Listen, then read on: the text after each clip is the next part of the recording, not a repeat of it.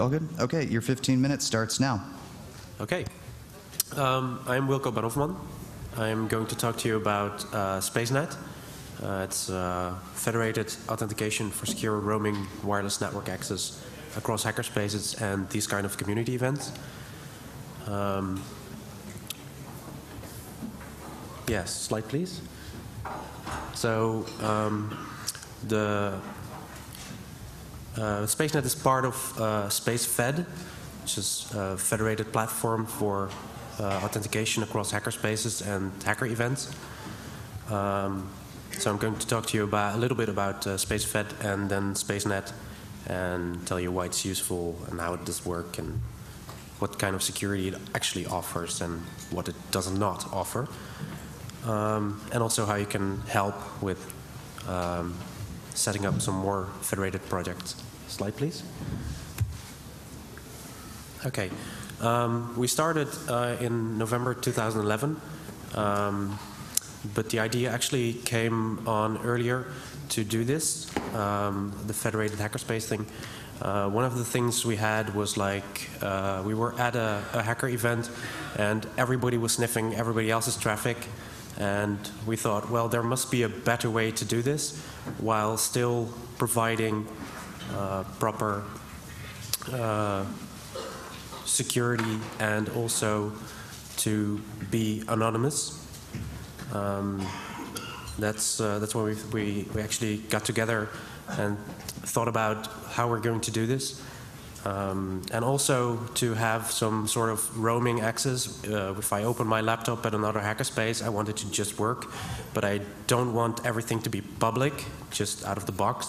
I mean, for me, it doesn't matter. I use a VPN anyway, but most people do not. So it will actually offer just a little bit of more extra security. Um, SpaceFed is a, is a federated authentication platform. Um, we try to do everything as decentralized as we can possibly do it. So um, there's uh, SpaceNet, which is uh, basically uh, WPA2 enterprise uh, with radius access and uh, roaming, where you can actually go to your own hackerspace and authenticate there. And then your home hackerspace will, will say to the current Wi-Fi solution you're on, will say this user is okay. I don't know who it is. I'm not going to tell you who it is, but this is a user is okay. Is good. Uh, another one of the projects that we do is uh, we're going to do some SAML. Um, we've actually already started doing SAML um, to uh, link all the authentication and again not have the password on our infrastructure but only to your home server that you have at your own hackerspace or, or hacker community and uh, that will tell us okay this is this user is okay and we do not want to know your password. All we want to have is the assertion you're okay. So uh, another one is uh, Space Connect, which is basically uh, decentralized VPN in, in pretty much the same way, and some phone systems that we're going to link. So basically, it's all inter-hackerspace related projects that we're trying to do under one single umbrella of uh, cooperation between the hackerspace. Slide, please. So this talk is about SpaceNet. Um, well, federated authentication, blah, blah, blah. Um, it's, uh, it's a bit like eduroam. How many people here know eduroam? Okay. Okay, so I'm going to have to explain it anyway. Um, it's uh, WPA2 Enterprise, which basically means that you are going to uh, be able to log on to a Wi-Fi uh, with your username and password and not with a pre-shared key. And the advantage is uh, that the pre-shared key is not actually used to um, set up your session key. So your session key comes from the Radius server, and that will mean you're more secure than you are with a PSK because public Wi-Fi with a with a pre-shared key is not actually offer more security than just public Wi-Fi because the pre-shared key will be used to encrypt the the session key and from then on, if you have the initial negotiation with the pre-shared key, um, you're screwed anyway. Um, the, the main thing it does is it, it, allows you to specify your username. In my case, uh, wilco at bitlayer.nl. and it will just go to BitLayer, authenticate me, and it will pass back, it's okay. So username and password. Uh, one of the advantages is you can configure it once, and you can actually use it everywhere. Um, and if you use the certificate checking of your home radius server, so it's actually a TLS tunnel, it will be as secure as you can get it right now, the current state of technology. So it's, uh, it's essentially a radius proxy. Uh, slide, please. Okay, so why is it useful? Um, well, it's very easy to use. Um, you can configure it once, use everywhere. It works on most clients. I've actually not seen clients that do not work fundamentally. Some clients require some hacks to get it working, but yeah, that's a client issue, I'm afraid. Um, it is secure. Well, secure as we can get it right now. Um, keys are dynamic, so um, no session keys. Um, every user gets a single session with a secure handshake, which is good. Um, it works uh, at um, all connected spaces and events like this one. Um, I could just open up my laptop and we have SpaceNet here right now. Um, and my laptop will just connect to the Wi-Fi and my session will be encrypted and uh, I don't have to worry about anyone sniffing my traffic up until the, the gateway actually or until we actually hit the wired network. So that's good. Um, right now we have um, uh, spaces connected in the Netherlands, Luxembourg, Germany, United Kingdom, um, and also some events we did in Malaysia, Hack in a Box, and uh, well, hopefully your space will be connected next week as well. That would be great. If you have uh, um, not, uh, if you don't have a country node yet, um, because it's all federated and delegated to every single country, so just contact us and we can uh, work something out to connect you as well. Um, it can uh, it can regulate your your network access, which is good. Um, it can do wired as well. You can do 802.1x authentication on your wired ports. You can actually do some some uh, useful stuff like saying, "Hey, this is a guest user because this is not from my realm. It is from, um, for example, RevSpace." And you can, no, I don't trust these RevSpace guys. I'm going to put them in a different VLAN. It will just work if your access point supports this kind of stuff. So you can uh, determine pretty much based on which uh, server you're authenticating with uh, what VLAN it will go into or not if you trust everyone equally. Uh, slide, please. Um, so this is basically um, the, the layout of how this works. Um, you are uh, at the bottom left connected to the local access point. Um, the access point will do, um, or actually your client will do an EAP all session. That's uh, EAP over LAN, Extensible Authentication Protocol. Um, and it will make a connection to your uh, access point. The access point will make a radius connection and the radius will see, hey, this realm is not my local realm, so we'll forward it to the country node. In this case, the, the would be the German node. That will see, hey, this is user is bitlayer.nl, and bitlayer.nl should be forwarded to the Dutch node, NL node, um, which will see, hey, oh wait, this is bitlayer.nl, that's this server, and will connect me to my home radius. And from then on, I'm connected to the proper server. I will do a TLS session. So um, I will have an encrypted end-to-end connection with my home radius, and then I'm sending my username and password to my home server, and just my home server. And it's uh, TLS encrypted. You have to check the certificate, or otherwise you don't know who you're sending your password to. Um, so configure your client that you're actually checking the certificate. Um, and then basically it will say, okay, this user is okay, and we'll forward this back to the home, to the country node of the home radius, back to the country node of the country you're actually in, and to the local radius. And your access point will just say, okay, you are good. You can be on my Wi-Fi, and um, this is your session key for now, and that way will actually be secure. Um, so, next slide, please. Uh, five minutes. Um, so how does it work? Um, proxying is based on the domain name in your identity, actually in your outer identity. There's actually two kinds of identity here. You have the one inside the TLS session and one outside of the TLS session. Uh, the one on the outside, which is in my case would be something like anonymous at bitlayer.nl, and, and that one is only used to, to proxy to the proper server. So it does not actually reveal your identity on the network. It will just pass it through to your home radius, and from there on, it's your inner identity that you do authentication with. So they, there's no link between the two. So you can actually be anonymous. Um, uh, it's a TLS session, um, which I just explained.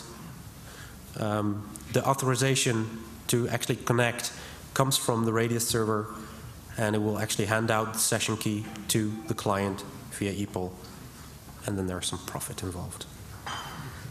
Next slide. Okay, so uh, who do I have to trust? That's also always a good question. Well, definitely not us, because we do not get your passwords, which is basically a common theme between all the SpaceFed projects. We do not want to, your passwords, and actually, we do not want you to trust us.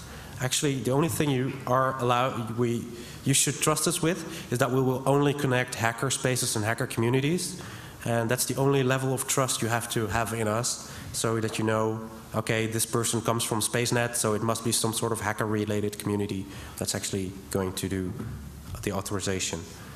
Um, but it is as secure as the weakest link.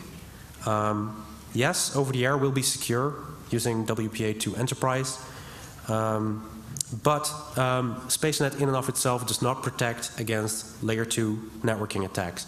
So if you are going to set up your own wireless, um, you have to check for things like ARP spoofing, rogue DHCP, uh, neighbor discovery spoofing, and rogue router advertisements.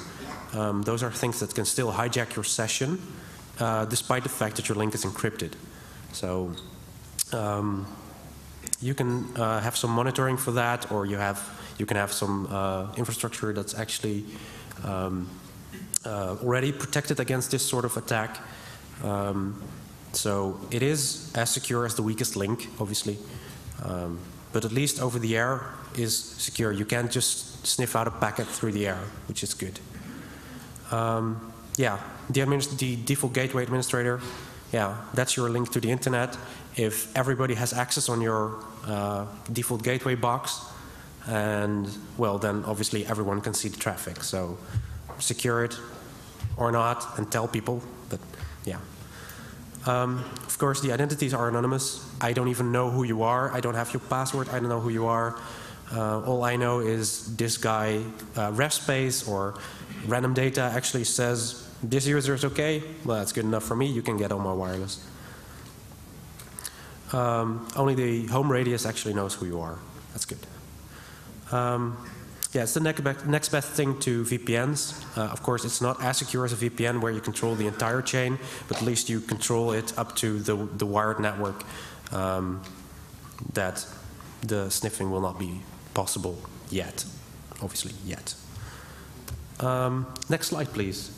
Um, yes, MSCHAP v2. Um, as if you want to support Windows clients, you have to support MSCHAP v2, or use a tool called uh, SecureW2 to provision the profile on it. Um, but hey, isn't MSCHAP v2 vulnerable? Well, yes, it is. It and has in fact been broken for years. Um, One minute. Right, but it is used uh, within PEAP, so that's uh, good. It's in inside the TLS session, so so good. Um, next slide, please. Uh, well, how can I get it? Well, you need some things. Um, basically, you need an uh, access point with uh, enterprise support. Need some radius settings and um, virtual machine to set up the radius server, um, user directory, fixed IP address, and some clue. Next slide, please. Um, so these 30 are the seconds. events that using it. Uh, next slide, please. so yes, um, these are actually already connected. Next slide, please. Okay, excellent. Um, Want to help? You can contact us. Thank you.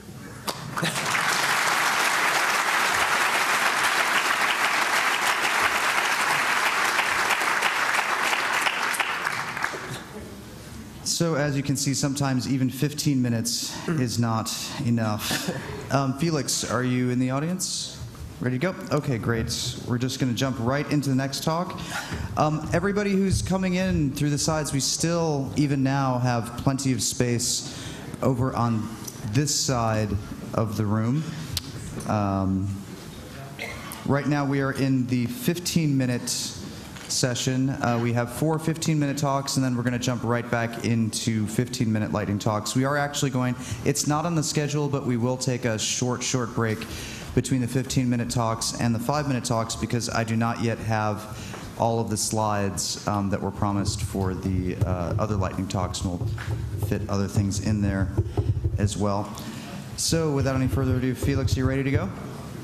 Are we all all settled? Let's let some people come in and out. And if we could have your attention, your 15 minutes starts now.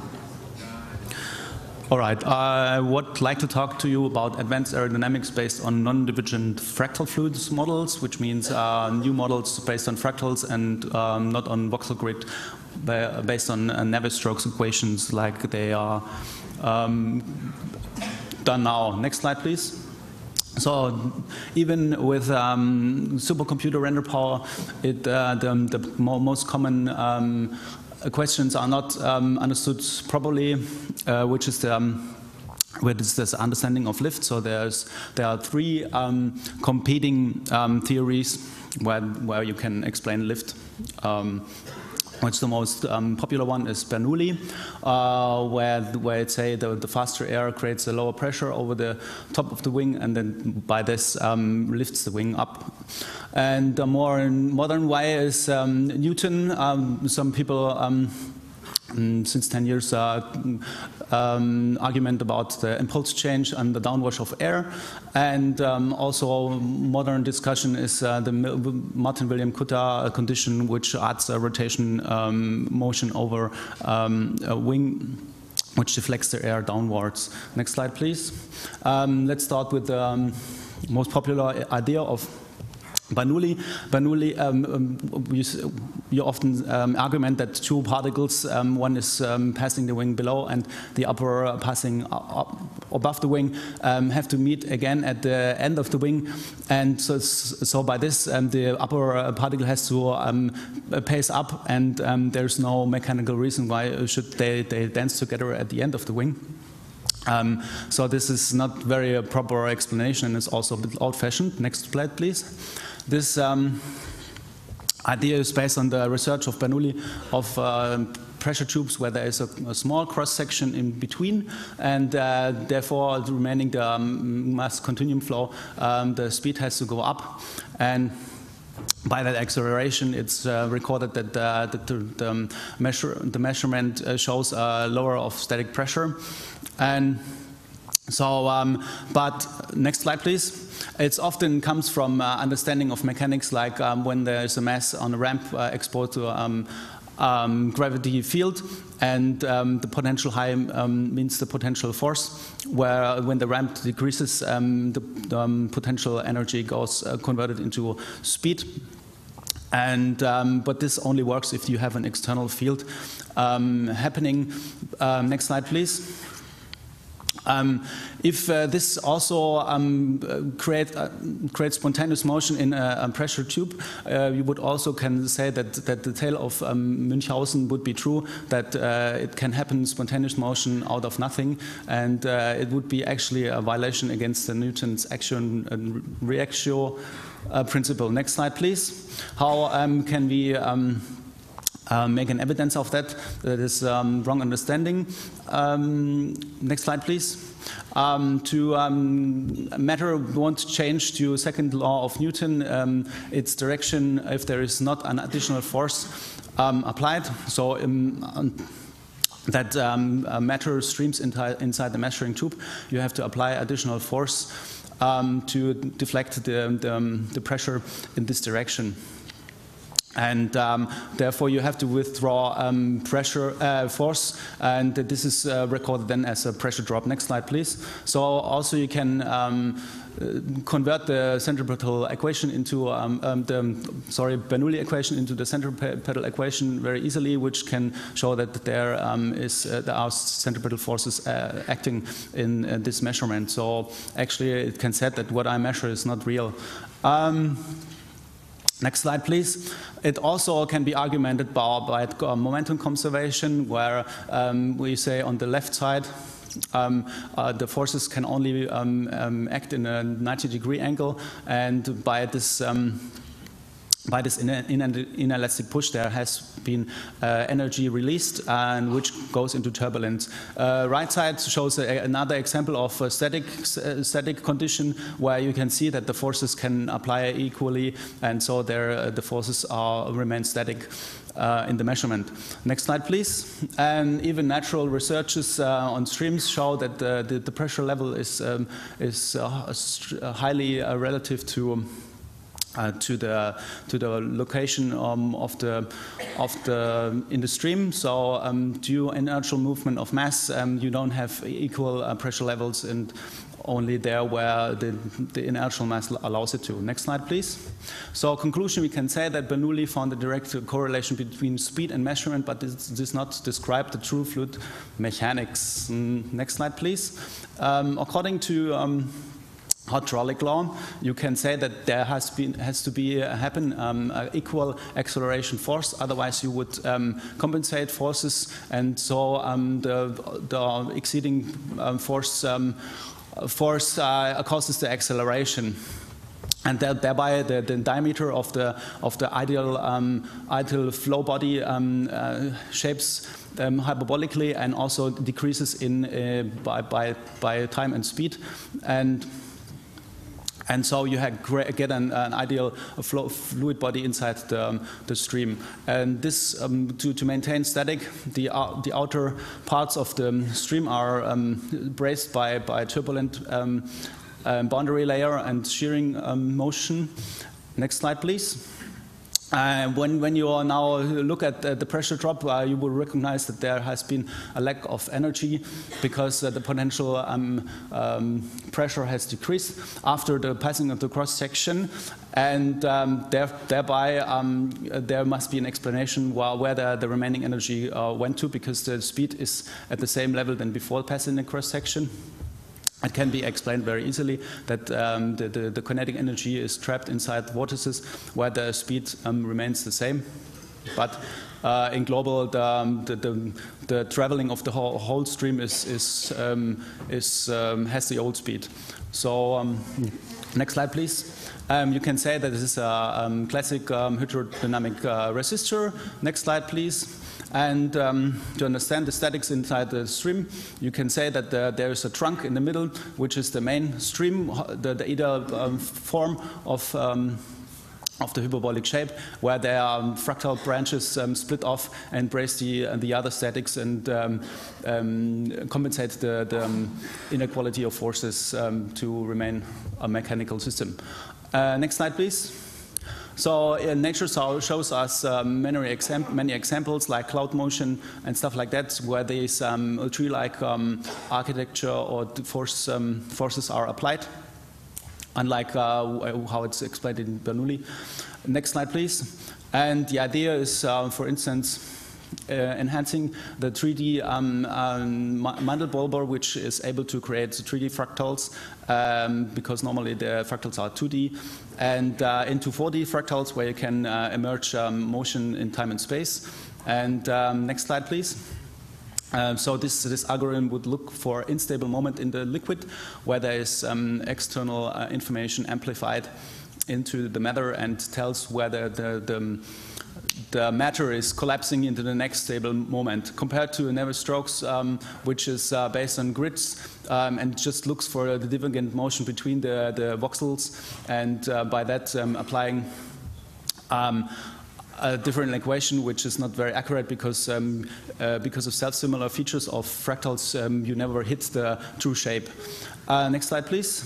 Um, so we can say that um, even ideas of um, such people like Rupert Sheldrake, um, the morphogenic field can now be uh, applied in mathematical evidence, where you can say that the virtual information is in amplified in matter, and so you can say that matter is actually an amplifier of um, virtual information which is displayed in unstable moment of fluid, for instance. And it also explains emergent information, which, uh, like dunes, where, where there's um, features. Yeah, okay, next slide, please. So how uh, lift is created then? Next slide, please. Um, you can say that um, it's a combination of New uh, Newton and vacuum force. Next slide, please. Where um, the inertial mass travels over a convex surface, where normally uh, it would change direction um, and uh, so vacuum spreading unless there is um, pressure inside the, the air and uh, this, um, this pressure potential gets withdrawn and uh, deflects the air back onto the surface. Next slide please. So the air follows in a, in a certain delay where in between there is a little um, pressure bubble because, it, because the air is too inert, uh, it cannot turn into the bubble and collapse it uh, unless the, the, angle is small enough. But if the angle increases, uh, the air is able to um, travel along um, big enough uh, circles to uh, travel inside the pressure bubble and make it collapse by that way. And um, um gets, the, the, the, pressure gets detached by, by vortices. Next slide, please. Um, also, nature um, shows uh, th this um, on, on, on birds when they approach in a steep attack angle on landing maneuvers, for instance, where the feathers lift to um, inertial effects, but only to a certain distance when they reach the laminar um, stream. Next slide, please. So how we can apply this technically um, is like we have a uh, flexible surface of a wing with elements like feathers, which are get shaped into um, form uh, according to the pressure potential um, uh, applied at this certain situation. And so in each situation, uh, the, the, form is always getting an ideal shape. Also, when getting in stall mode, the, the, um, the elements get ripped off and protecting the, the pressure bubbles uh, above the elements from, uh, from collapsing where the, the stream only can flow up below the, the elements. Next slide, please. I created a nice um, movie which explains in more deeper level of the um, aerodynamic behavior on, on airplanes. And, um, and also yeah, it shows nice um, uh, high-speed anal analysis. And uh, yeah, here you can see uh, quite nice um, uh, how the elements get, get um, pulled into the stream to a certain level until they reach the laminar um, area and, and so protect um, the, um, the collapsing of the um, low pressure bubbles. And yeah. Okay, next slide. Yeah, I've also published um, an article which is going more deeply in, into physics and um, explaining it on certain other effects. And um, also there's my YouTube user channel and uh, the Facebook page where I mostly um, update these, these uh, projects. Um, can we get to the last slide again? Because there's still some time. Um, uh, to mention, this is the first model which is not um, that perfect. Um, so, so this is version 1.0, and uh, I already got some conclusions about this. Um, this how to improve this uh, in a more deeper level because there are some material issues and also some vortex generation uh, issues which uh, have to be improved. Um, so. Um, um, you have two minutes left. We could go watch the video if you like. Oh yeah, okay. Yeah, just um, pick maybe the first one, uh, if you can reach it very quickly. Okay, didn't estimate it that. Was uh, very much rushing through the um, issue and um,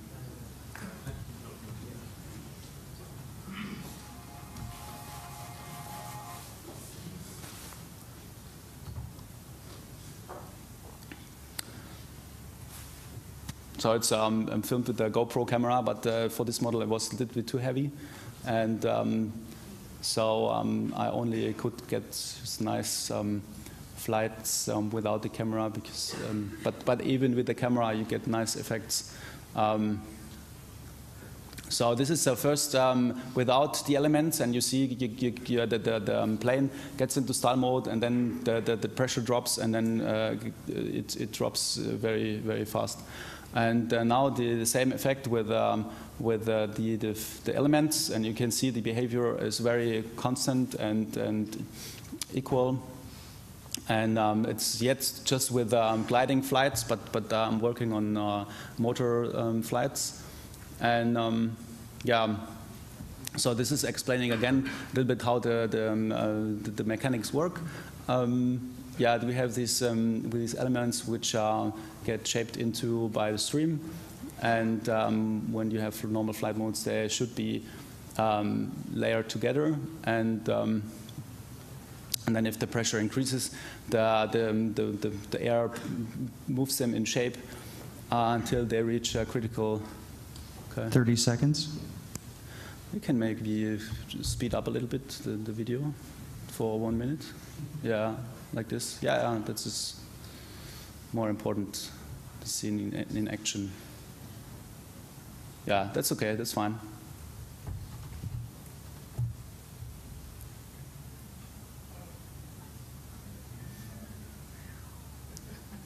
So you can see the, um, the elements are not entirely lifted off, but just in a certain level when they reach the laminar um, border of, of the stream.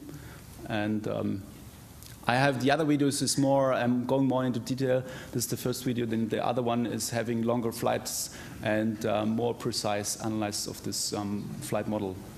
And so. we're at time. I didn't get a chance to ding your 10 seconds, so we're good. So yeah, that's it. You good? Okay.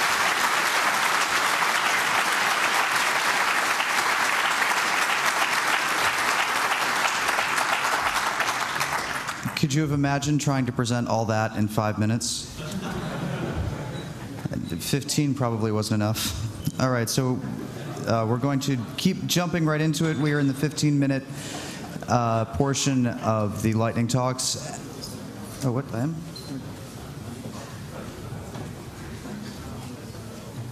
Oh, right, sorry.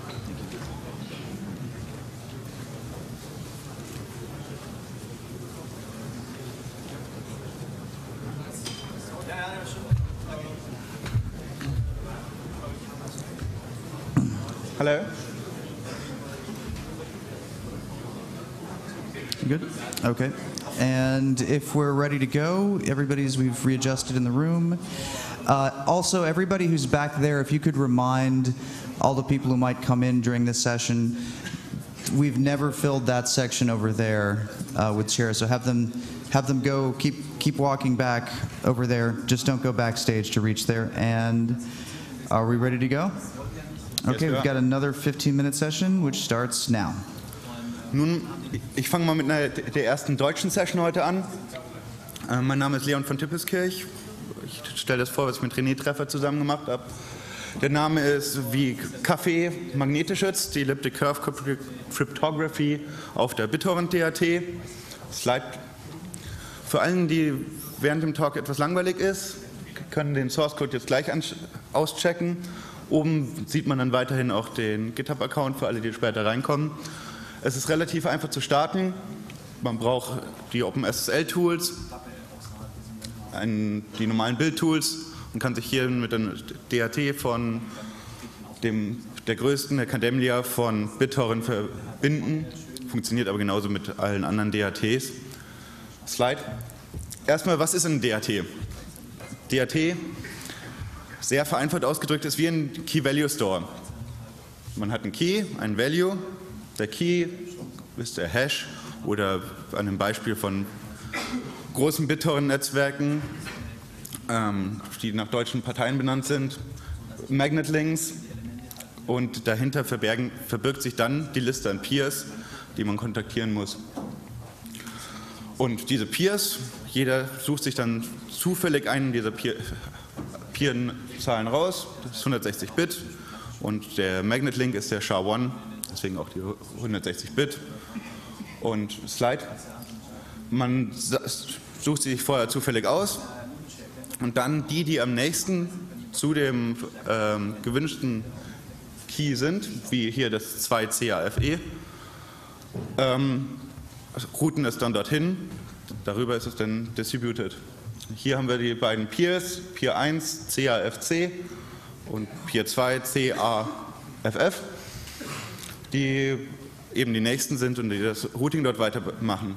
Sollte aber jetzt jemand versuchen, zwei CAFE nicht mehr erreichbar zu machen, kann er, Slide, ähm, eine sogenannte Eclipse Attack ausführen. Die IDs sind ja vollkommen frei wählbar. Er wählt also zwei, die sehr nahe an der Ziel-ID sind und die in, jetzt in Rot gezeichnet sind, verschweigen einfach die Existenz von zwei CAFE und es ist nicht mehr erreichbar. Slide. Jetzt ist die Frage, wie kann man das nicht komplett verhindern, aber es auf jeden Fall erschweren. Wir sagten vorher, die Peers haben eine zufällige ID. Wenn diese ID nicht mehr zufällig ist, immer noch weiterhin 160 Bit, sondern man einen Key erzeugt für die Public Key Encryption, dann ist es ja nicht einfach, einen zufälligen zu wählen. Wir haben uns dazu entschieden, die Elliptic Curve Cryptography zu nehmen, und zwar mit einer Länge von 176 Bit. Vorne diese ersten 16 Bit werden festgelegt auf 02 CAFE und dann bleiben die restlichen 160 Bit übrig, um dann den Public Key zu erzeugen. Unten sieht man den Vergleich mit einem Algorithmen-Slide. Hier wäre zum Beispiel einer, ein Prozess, wie man das jetzt bisher machen würde. Man würde sich einen Key erzeugen. Das dauert etwas, auf einem aktuellen Rechner ungefähr eine Minute. Es hat einen Hash, ähm, der beginnt hier mit 02CAFE, nimmt den letzten Teil, 100, die letzten 160 Bit, announced den normal als seine Peer-ID, die vorher frei gewählt war, eröffnet seine DAT und ähm, startet sein Ping und benutzt die DAT wie bisher. Slide.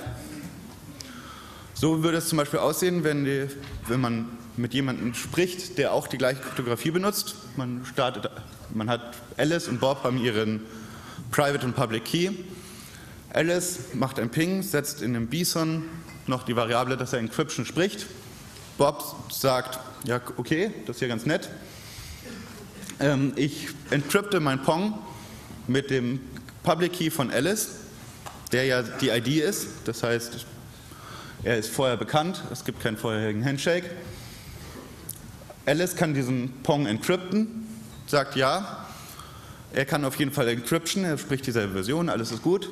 Ich, in der weiteren Kommunikation benutze ich einfach Bobs Public Key, der seine Node-ID ist, plus 02 CAFE und die weitere Kommunikation kann encrypted stattfinden. Slide. Sollte es so sein, dass Bob noch kein Encryption spricht, wie im Moment 100% der DHT, schickt man den Parameter weiterhin mit.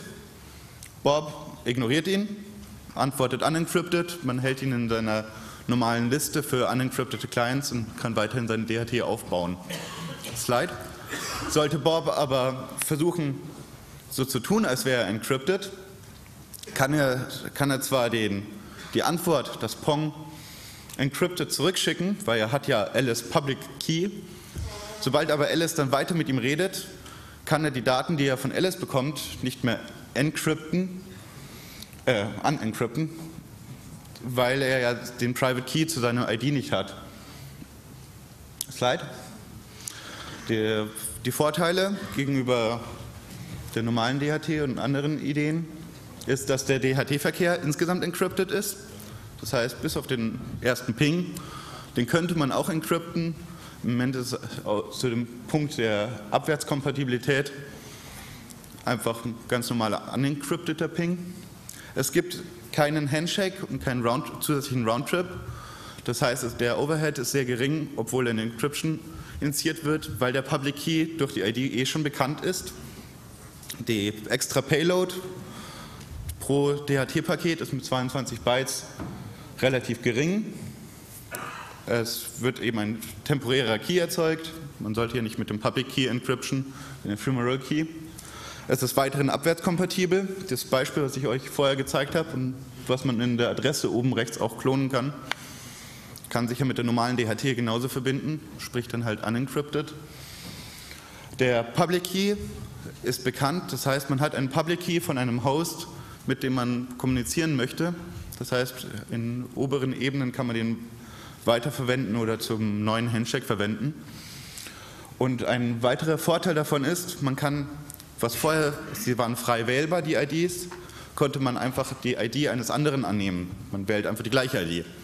Das ist mit Encryption sehr viel schwieriger, da man ja nicht die gleiche ID, den gleichen Private Key dazu hat. Dann müsste man ja errechnen. Slide. Wir haben das Ganze auf der DHT-Referenzimplementierung, die auch in Transmission verwendet wird. Transmission ist ein großer BitTorrent-Client. Ähm, gemacht. Da, das kann man auch dann relativ einfach in Transmission integrieren. Da fehlt jetzt noch, wenn man es eins zu eins übernimmt, ist die Key-Generierung, bevor die UI startet. Also das müsste man, wenn man es einbaut, noch etwas schöner machen, sodass das ganze Programm nicht blockiert. Die Implementierung müsste sich da aber nicht besonders schwer halten. Slide.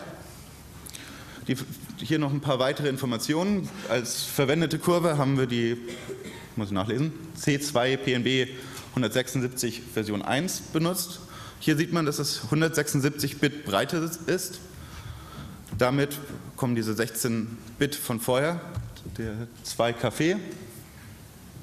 Und die restlichen 160 Bit bleiben dann. Ähm, den Source sieht man hier nochmal in groß. Ähm, zusammen gemacht haben, hat das René Treffer hier unten und ich, Leon von Tippskirch. Hier sind noch unsere E-Mail-Adressen und Twitter-Accounts. Und falls irgendjemand noch Fragen hat, kann er sich am besten jetzt schon mal anstellen. Und dann Slide. Jetzt kommt, kommt das Ganze, dass man das sagt, wie man das, wo sind die größten Lücken dahinter. Wenn man sagt, einen Key zu erzeugen, dauert eine Minute. Dann, um Keys zu erzeugen, die möglichst nah an der beschriebenen Eclipse-Attack sind, braucht man Keys, die sehr viel näher sind als im Schnitt alle, die in der Cademlia sind. Das sind ungefähr 2 hoch 20 Schlüssel, womit man einen Core zwei Jahre auslasten könnte. Ist an sich nicht besonders viel. Man braucht dann noch ungefähr zehn nahegelegene Schlüssel. Das heißt, man ist ungefähr bei 20 Jahren. Das lässt sich oft lösen. Das heißt, man kann, wenn man ein Cluster hat, wenn man ein bisschen Geld auf Amazon wirft, kann man das mit 5.000 bis 10.000 Euro genügend Schlüssel erzeugen, um, einen, um die Eclipse Attack wieder zu machen, die vorher ohne, große, ohne Kosten zu erzeugen war. Auf der anderen Seite erzeugt man damit Schlüssel, die eindeutig sind und die danach verbrennen können. Das heißt, wenn, man, wenn der Node weiß, diese Schlüssel sind nicht gutartig, die announcen nicht weiter, verhalten sich nicht gutartig im Netzwerk, können sie geblacklistet werden oder Five minutes. äh, rausgenommen werden. Und damit eröffnet man eben neue Möglichkeiten, die, wenn die frei wählbar sind, so nicht wären. Und das war es auch schon an größten Dingen von meiner Seite. Anscheinend rede ich zu schnell. Wenn noch irgendwelche Fragen offen sind. Anscheinend nicht.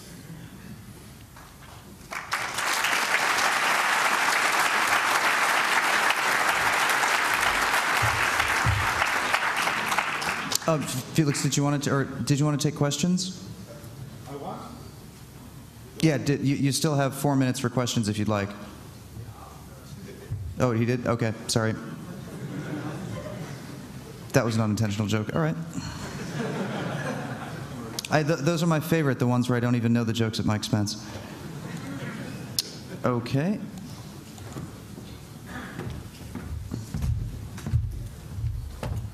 And which is good because now we're only one minute behind. Uh,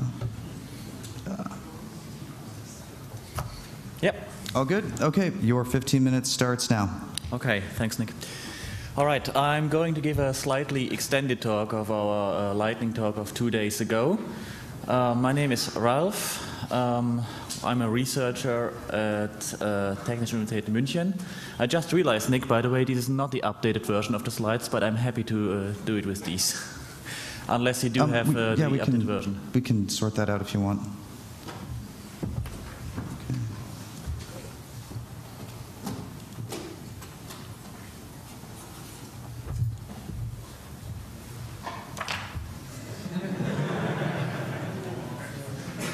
Sorry. It's, it's for your protection, not mine.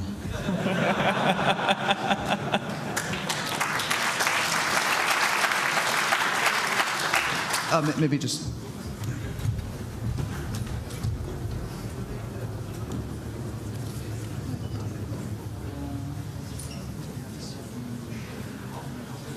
Oh, today? Okay.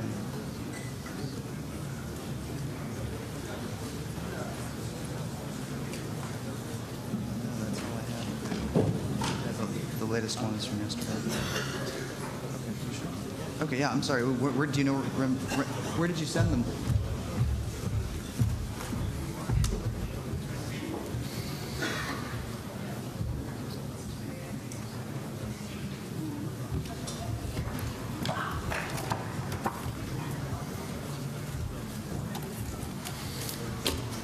All right, we'll do it in the old slides then.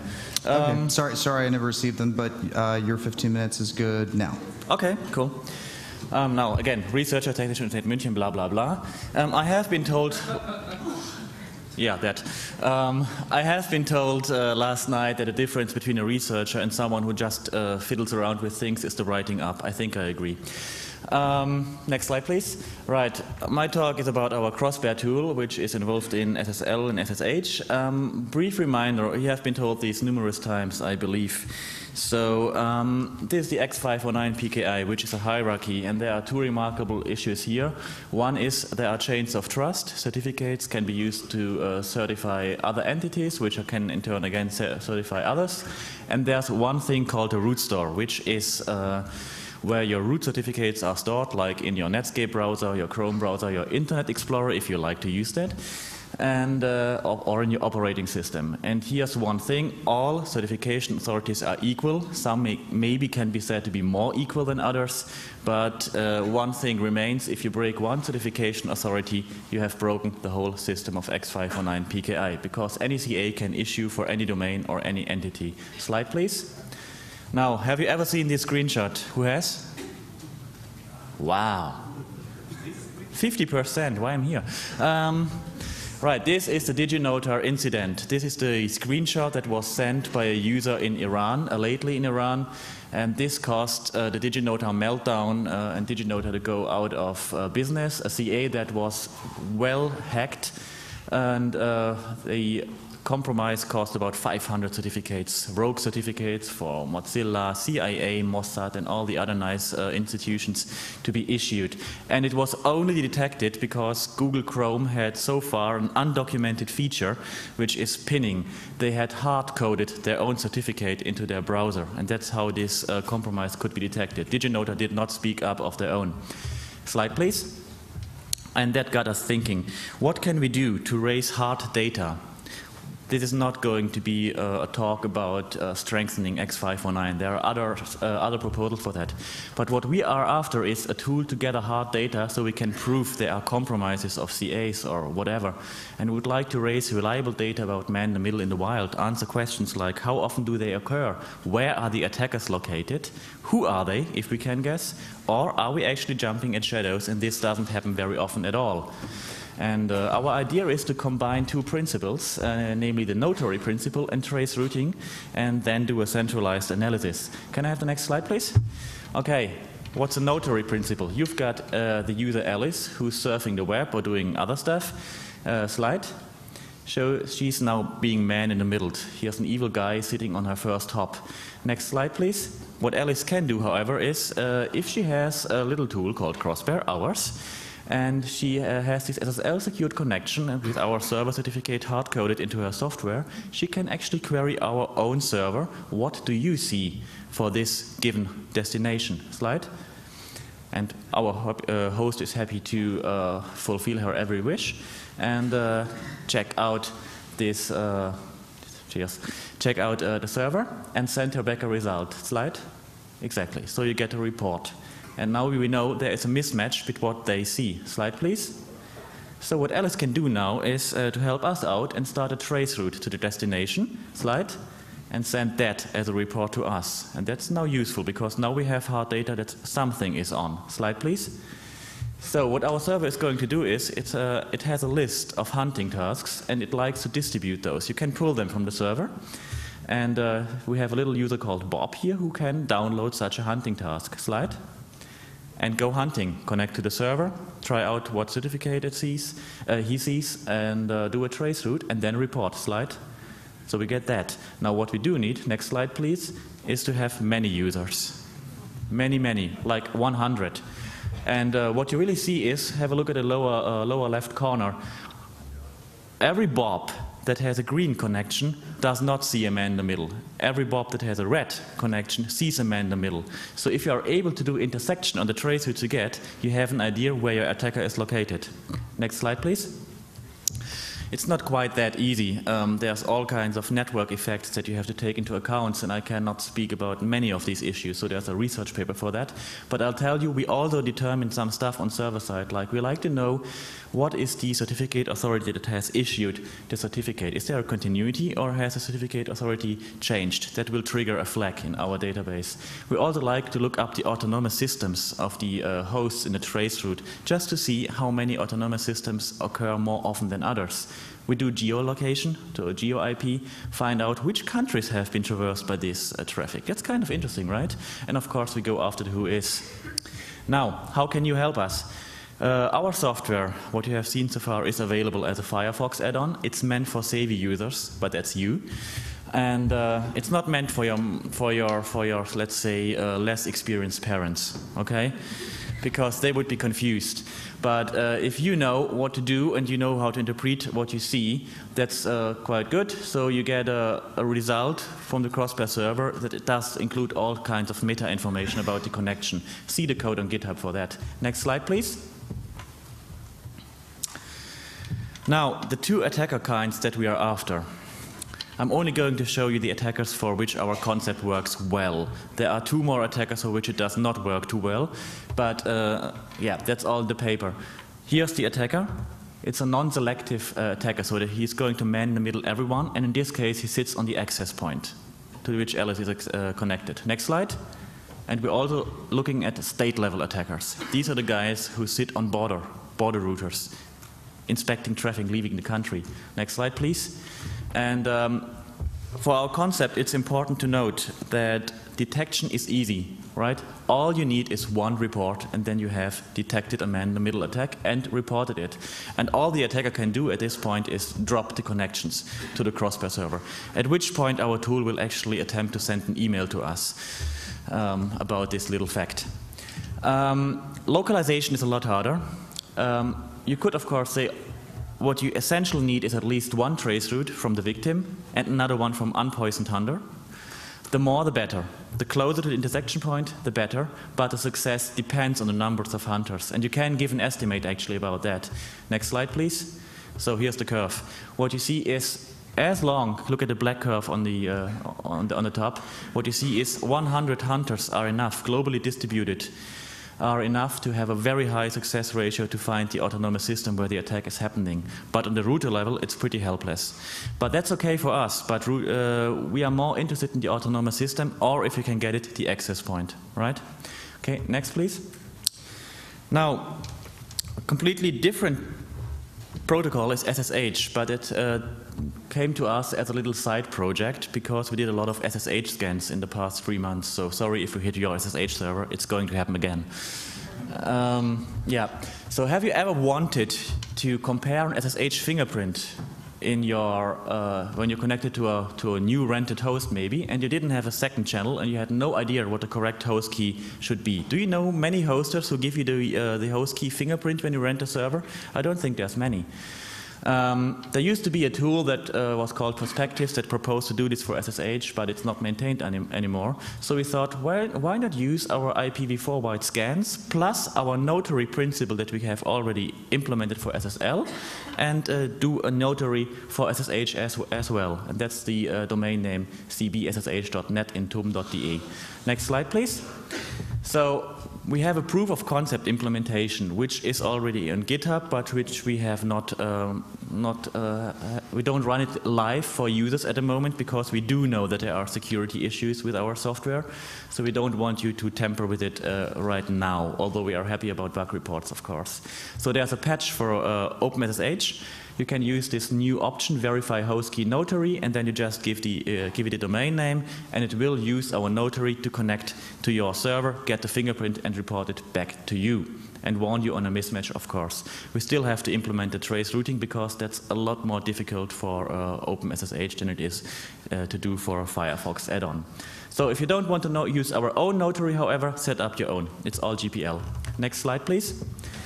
And uh, from our IPv4 scans, we can give you this. Uh, we have stored our results, all the fingerprints and how often we have seen them. So just use a normal tool like dig and query the TXT record of your IP and put that as a subdomain under our own domain. domain. So for example, for this uh, IP address, you get uh, the fingerprint and that we have seen it for the first time on the 10th of February, uh, September 2012. But we have seen it twice since then, right? Um, I have used this during the Congress to find out my own fingerprint, which was useful to me. Right, next slide, please. Um, Five minutes. Yeah, thanks. Um, scanning SSH is interesting, especially if you do it worldwide. And uh, I would like to give you a brief background on how you can do it and live. So, slide. Very important, get your own autonomous system. Slide. Because right? Your ISP is going to hate you if you try to do billions of connections. But if you have your own autonomous system, and we do, that's a lot easier. Slide? Yeah, that's important too. Have chocolate ready. Have chocolate ready for your administrator because he will hate you too, because he will get the reports that you are causing. Last time we had about 80,000 reports uh, sent to the Internet Storm Center, which is good. I mean, 3.5 billion uh, connections and only 80,000 reports. That's pretty good, I think. Don't do stateful tracking on your firewall. Or be prepared to see your routers die. Our autonomous system is kind of offline at the moment because we scanned. Sorry. Sorry to our admin at this point. um, be prepared to get many complaints by mail. Write to certs. Next, please. Write to blacklist so they whitelist you. And uh, tap twice, please. You can scan in five days with just one strong server. And yeah, you're going to make a lot of new friends because for. yeah, yeah, yeah, yeah. You do. Can you go to the next slide, please? These are new friends.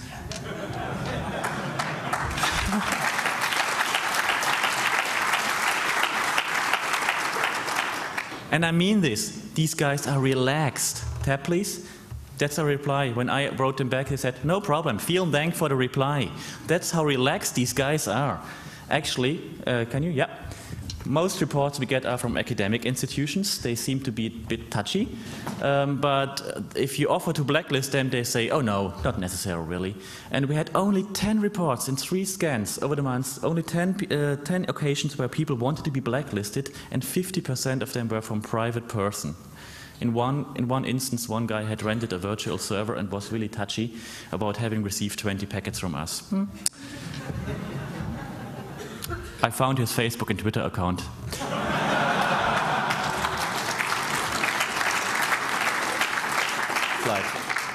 So our position here, guys, we do not advertise our tool as a silver bullet. Certainly not. There's lots of stuff, and network effects are really hard to get up with, and the attacker can cope. It's really an arms race here, and uh, we are in the unlucky position that we have to uh, come up with something new as soon as the attackers adapt to our uh, to our methods. We do believe that we can get good results against one type of attacker, the non-selective attackers, but these are also the ones we're interested in. And uh, we're more or less deployed and ready. We have used, uh, we have standalone hunters on Planet Lab, and in our beta phase this year we had about 30, uh, 4,000 certificate reports, but no man in the middle found. Slide, please. So, what's next? Um, I'm very grateful we have received a grant to implement uh, for the Open Observatory of Network Interference, a Tor sub-project, which hopefully should get us many clients, plus people in the right locations, understanding what they do. And uh, that is where all our efforts will go in the next few months. And uh, we, of course, have to do a lot of automatic analysis. So, slide, please. That's us. Uh, we are at, on Twitter. We are on the World Wide Web, but we're also on GitHub. So check out our software. Write emails to us. We do know that the software is not complete. We're working on it, still working on it, and we do hope to have some good results very soon. I see I've got about one minute left, so I'm happy to take any questions. But that's all from me. Thanks.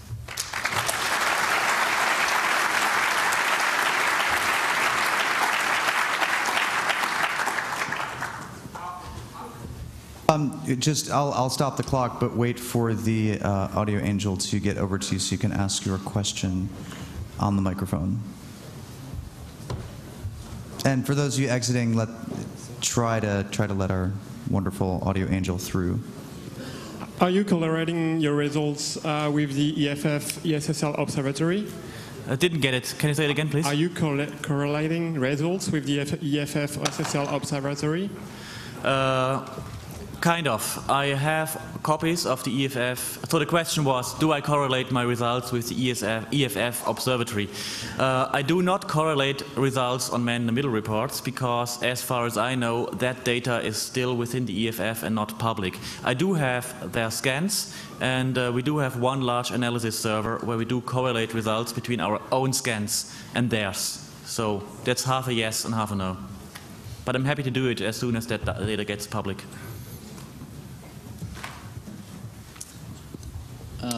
Do you have currently uh, a method to detect uh, wrong uh, reports? For example, if the attacker uses your tool um, to uh, report many uh, wrong uh, sites, or if, if the attacker sees that your tool detected him, he wanted to mis give misleading information, so you think he will be um, somewhere else?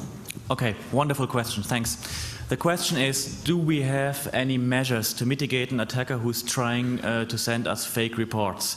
That's a difficult question. The, uh, one short answer is we have one little trick. We force anyone who wants to report to do a full TCP handshake with us, citing a token that our server knows. So you cannot spoof an IP address arbitrarily. You have to have control over the system or any system downstream that forces the attacker uh, to yeah, limit himself to a systems he controls.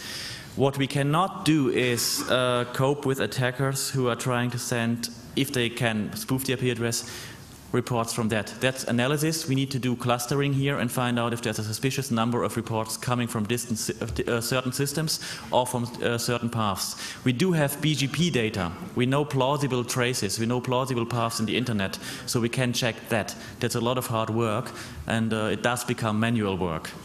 Okay?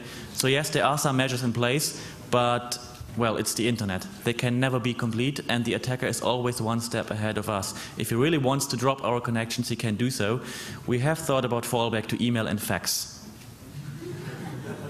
And that's your time. Uh, warm round of applause. Thanks. And then Matt, I saw you walk in, uh, and if I could just quickly get you to come over here, I've I've been holding onto this for you since tour camp, and I thought now I should finally get rid of it so I don't get harassed by security for it on the way back. Pretending that I can take this on a plane. Well, it's it's your problem now.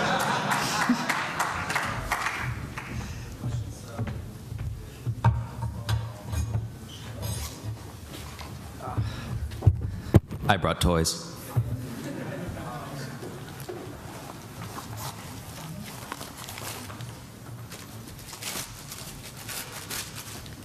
Although, although if it makes you feel any better, I managed to fly here with that, Yeah. so you should be okay.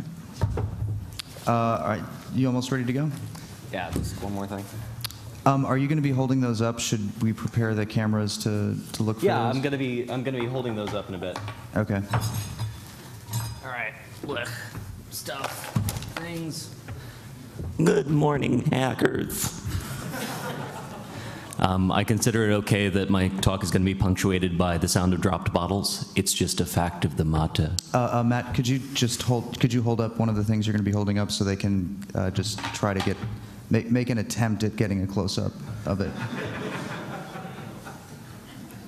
Uh, is that is that the best camera position you can get for for holding his? Uh,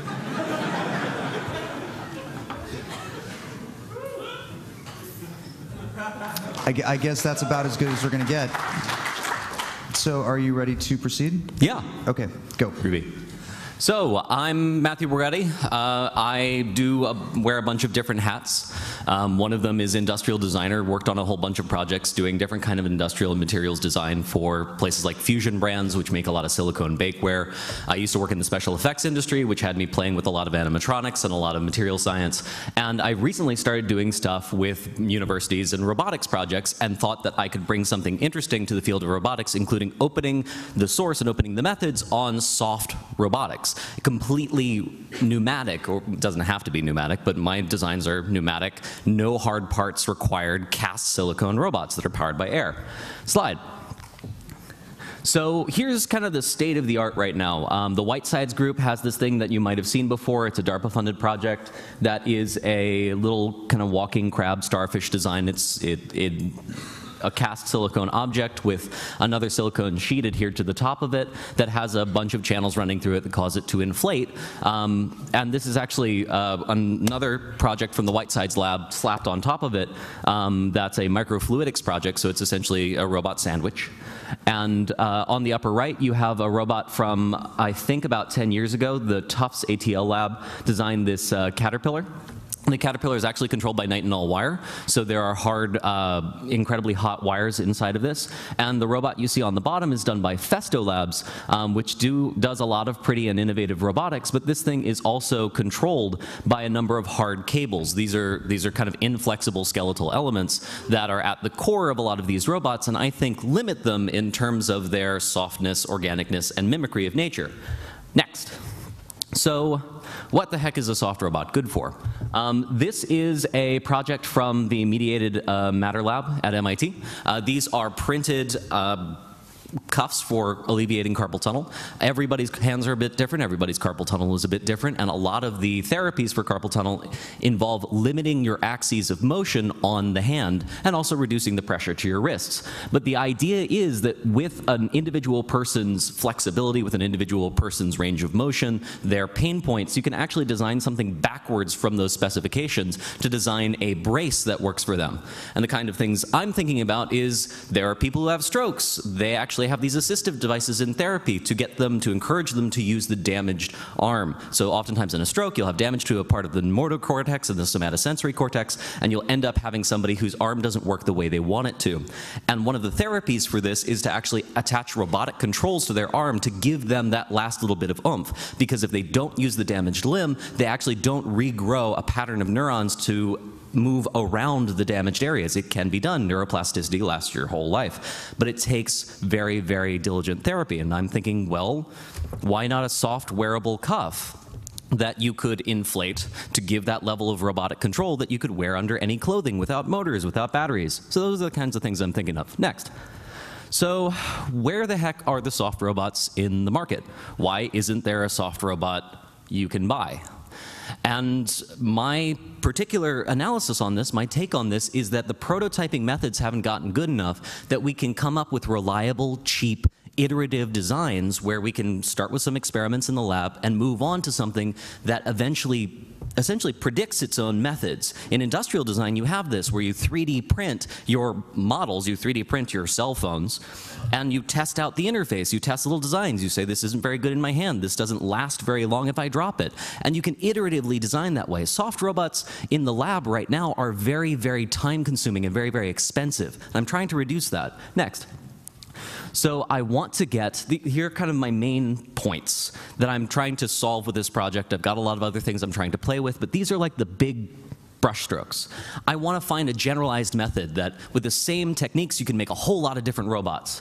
Um, I want to get arbitrary geometry inside a seamless skin. Essentially a seamless skin, no seams, no place for the human error to come into play and wreck things.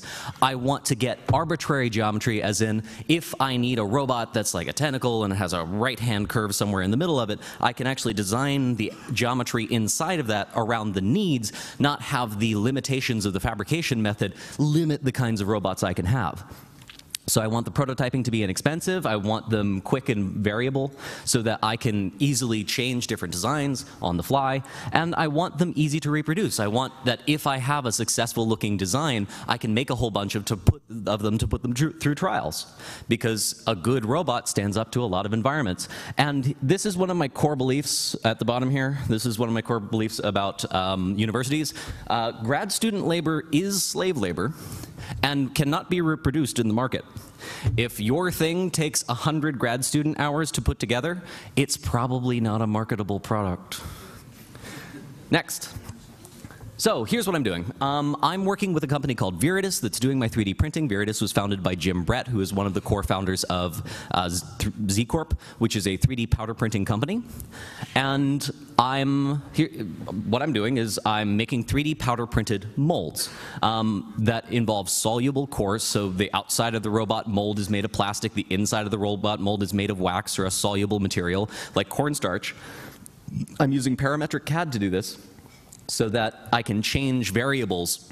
When something doesn't work, I can roll back in the method and be like, this needs to be more densely filled, or the wall thickness needs to change. So I can quickly change my designs to fit my needs, and then I'm trying to have it be minimal, minimal manual fabrication. I have robots. I have robots that print things for me. Why would I design things that still take up my human time? I can have robots do that for me. Next. So, this is a functioning robotic tentacle. So what happens here is, yeah. So there's a structured hollow volume inside of here that as I pump it up, the volume deforms because of the air pressure. So there's a manifold right down the middle and one of these on either side.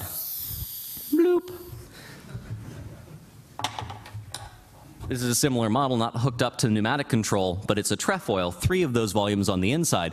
It should be able to do a full 360. I just got this out of the mold right before CCC, so I haven't had a chance to test this one yet.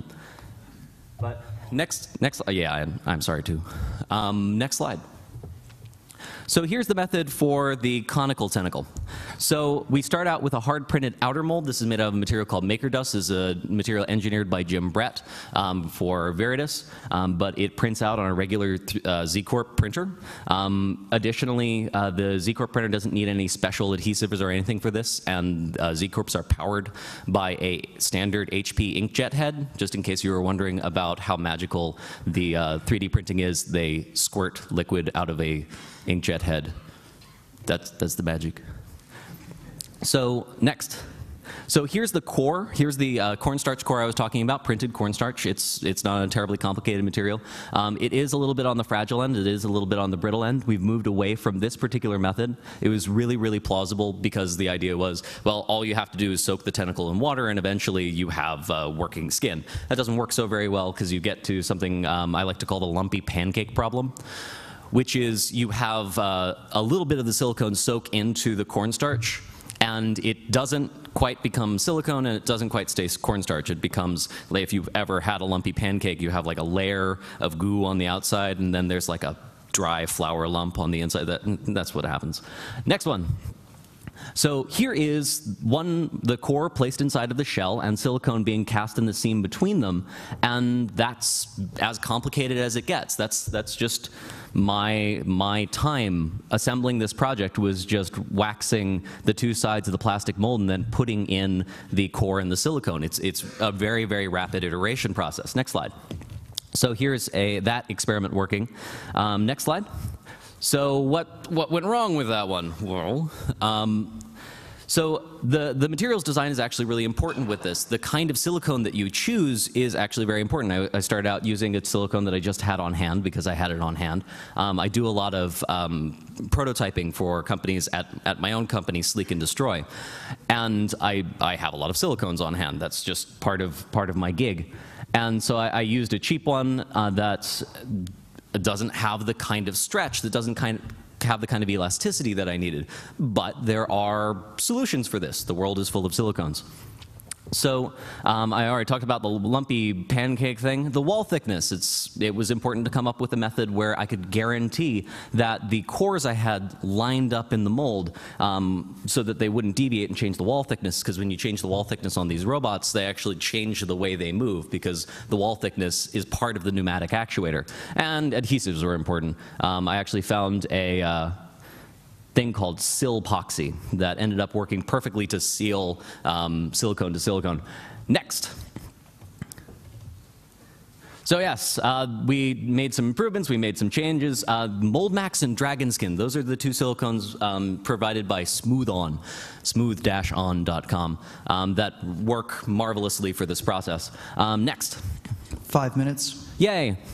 So here is the new method is a wax core. Next slide. So here's Jim Bredt pouring up a, uh, a new tentacle. Next slide. And here's that coming out of the mold. So wax, the, the wax is easy to produce. It's easy to find. It's easy to manufacture little flat waxes um, because we're using 3D printed molding. And so all, all that happens is we cast the silicone in and melt the wax out. Next slide.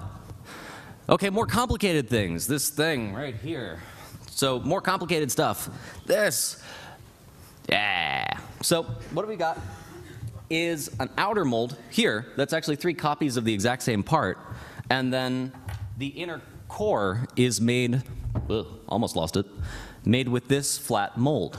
These things, although it looks kind of complicated, these things are really easy to produce because if I design the tentacle that I want, I can roll back the method and print on the 3D printer all the stuff to make it too. This is a mold to create the cores. Next, could I have the next slide?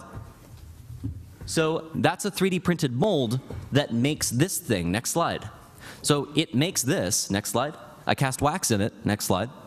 And it gets me a core. Next slide. I assemble that. Next slide. With a little jig that I, I made laser cut. Next slide. And I put it in the mold all of this stuff I can make easy multiples of. So if I want to have 100 tentacles casting at the same time, say I need 100 legs for something, it's actually really easy for me to just go along the line and pour into all of these molds and have the printer printing more as I'm doing it. Next slide. And so that's what comes out. Next slide. So there's the bottom. You can see the trefoil shape and the little shadows of the way it was cast. Next slide. So what's next? Next slide. Well, I've got a quadruped that's coming out that should be done by the end of January. It should walk with only two airlines, as in one airline causes it to do a left-hand walk and one does a right-hand walk, essentially how a gecko walks up the walls, touching each side of its feet together. So you have left side walk, right side walk. Next slide. So I need your help to push it further. Because I do the mechanical engineering, I do the industrial design, but I think to make it truly open source, because this the idea is to get other people doing this, not to just be like, I have a lab and 3D printers, everybody look at me. The, the whole point is actually to create a better ecosystem for soft robots, because I think they're really cool technology that needs to be pushed further, and one person in a lab probably isn't gonna do it. It's gonna be a lot of people playing with a lot of experiments. So I need to bring it to a prototyping level where you don't have to have my specific experience in CAD to use my files and learn from my designs. You know, I've been using like SolidWorks for 10 years. I know SolidWorks pretty well. I shouldn't say, here, use my files. But first, go to design school, drop out of design school, go back to design school, then start working for a special effects industry. That, that shouldn't be the limitation here. So fast iteration speed, and I need a computational solution. Next slide. Um, I think that, that, you need that to keep this source open. I can give you my STLs, you can print those on your own, you, you can print my 3D files, but that's kind of limited. I would rather, I mean, I'm going to give out my 3D files. I have a profile on Thingiverse. My username is Giant Eye. Um, I need to document all the things I've been putting up on it, but there are Thingiverse files. Um, keeping it open is more having you be able to replicate my success, not replicate my specific results. Next slide. OpenSCAD is not an option. So if you if you do an image search on OpenSCAD, people have been suggesting OpenSCAD. Um, it doesn't have the kind of robust parametric control that I think I need. I think I need. Next slide. Uh, libraries and processing, the, like the work of Nervous System and Marius Watz, they have been able to use One minute. computational. Thank you. They've been use, able to use computational design to develop growth patterns that fit certain constraints. And I think that a hollow tentacle populated by a growth pattern that fits certain constraints is perfect. I think you what you would end up looking for is like bone ingrafation. Um? I mean, eh, there's a name for it. The patterns inside of bones or the patterns inside of corals, those are algorithmic-based growth patterns. The cells individually 30 are doing. seconds. Yes. Next. So, I'm not alone in this process. I'd like to thank Jim Bredt and Viridis 3D for helping me out with the engineering and partially funding this project, and Amanda Wozniak for offering amazing advice. So, next. I'm Matthew Borgatti. My site is Harms, and my Twitter handle is GiantEye. Look at my site for all the source and the methods on the robots, and thank you very much.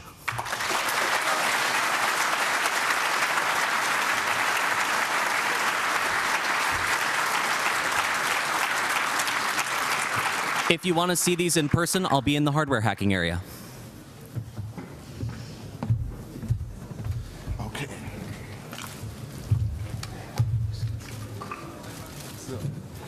All right. Oh, check, check. That was the 15-minute round.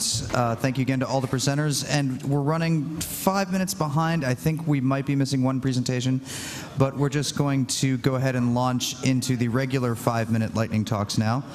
Um, so uh, just a couple of just a couple of reminders for people who are giving five minute lightning talks. Don't forget to always talk into the microphone because if you wander away from it a little bit, then people don't really understand what you're saying, and especially the people on the streams will have no idea at all what you're saying. Um, usually, I think we're going to just say no questions and answers for the five minute lightning talk round since we're running behind. Um, so even if you finish early, that's that's good. Thank you so much. Quick round of applause for the audio angel who is managing that chaos.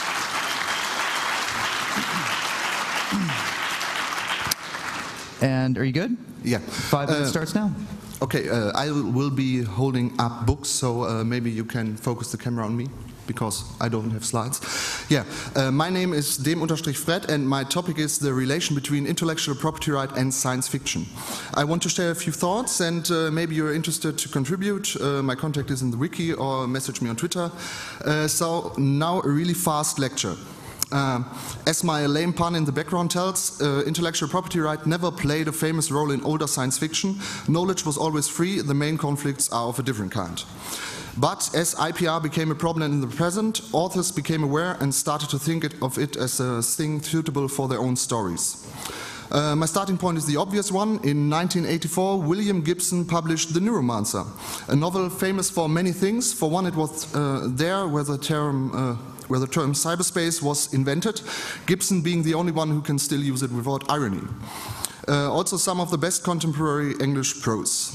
Uh, besides this, it is in the exposition where intellectual property rights suddenly appears. Knowledge is given to an ille illegal clinic by an AI named Wintermute. Yes, we have passed the singularity now, which leads to application of patents and some people become incredibly, uh, incredibly rich. Everything okay. The next one, a classic too. In 1995, Neal Stephenson published The Diamond Age, a novel about the past, namely the Victorian Age, becoming a part of a future in which nanotechnology is dominating, making everything easily reproducible, just like we hope it would come.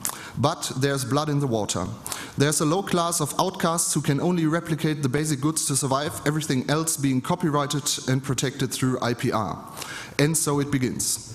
2005, Paolo Bacigalupi publishes a series of short stories in a collection named uh, Pump 6, featuring a world uh, which is devastated through engineered diseases and famines which were produced by global companies to create food monopoles. These companies sell plant seeds to a starving humanity which lack the ability to produce new seeds and are protected by IPR. Do you see who was the role model for this? Monsanto. Um, in 2009, Bacigalupi publishes The Wind-Up Girl with the terrible German title Biokrieg. which continues this universe. Um, 2009, Cory Doctorow, which we all know, publishes his novel Makers under CC license, free to download, just so you know. It is dedicated, and I want to quote it here, for the risk takers, the doers, the makers of things. Uh, it features a near future in which a large corporation, Kodakfa, struggles to survive and relies on a new business model featuring you, the makers. It is a world where fabbers, 3D printers are common technology and most everyday goods can be fabbed, including AK-47s, but not yet the bullets. Um, what was it? A few weeks ago, uh, someone fired six shots from a, a fabbed gun. Uh, foreshadowing anyone? Um, and now uh, the last one, which I unfortunately don't have here, it's Michael Scalzi's Old Man's War. Once again, a terrible German title, Krieg der Klone. Why uh, can't we get this right? It is set uh, to be the new Starship Troopers, and it features a future in which humanity is in a deadlock conflict with all other species in the galaxy. A war fought by old people, their consciousness put into new enhanced military bodies, making them relatively immortal. But once they have done their military duty, they need to give these bodies away because the technology is protected as intellectual property of the military of mankind. Oh, the pains. Um, so what's the point? Uh, many of these novels won awards, including Hugo and Nebula, not only because these books are good, entertaining sci-fi literature, which I wanted to share with you, but because the authors care to not only make their invented futures believable, but a plausible continuation of the ideas that are already part of our world. Uh, what's my message? All these novels feature uh, concepts of intellectual property right similar to already existent ones. And like in the present, they make the future much more boring than it should be. Science fiction, and I need to repeat this again, is not meant as an instruction manual. It is the exploration of future possibilities and sometimes it is meant as a warning. Intellectual property right has to change, we have to force it. 3D printing has to stay free. Science fiction will seconds. get even more awesome. Thank you.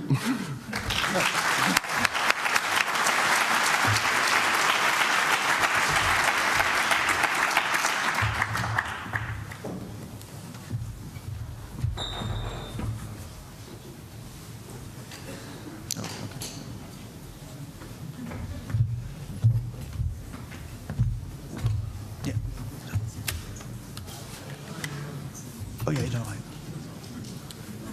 Okay, no, I know. No, I, I know. I was just looking over at that side. Sorry. Okay, uh, all good. Okay, we're running a little bit behind, so we're just going to jump right into it. Your five minute starts now. Good morning. My name is David Fifield. I am a member of the Tor project, and I'm the primary developer of the Flash Proxy Censorship Circumvention System. And my name is Brian Dugan. I work at the Open Technology Institute in Washington, D.C., and I am a recent Flash proxy volunteer. So, uh, first of all, about the name, uh, we do not use Adobe Flash. Uh, we actually use JavaScript, and I'll explain kind of how the whole system works, and then Brian will tell you some more about a special system using Flash Proxy. So the problem we're trying to solve is internet censorship. In a lot of countries, people want access to Tor in order to uh, read the free internet. But the problem is, in a lot of countries, access to Tor relays is blocked by IP address. How do we get around this? Well, our solution is to use a network of miniature temporary proxies that run in web browsers as a JavaScript program.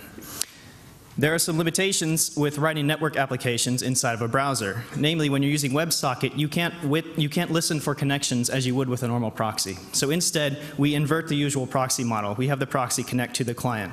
That imposes some difficulties, but I'll explain how that works. Next slide, please. First of all, the client has to advertise its willingness to the outside world to receive a connection. I'm a censored client, please come help me.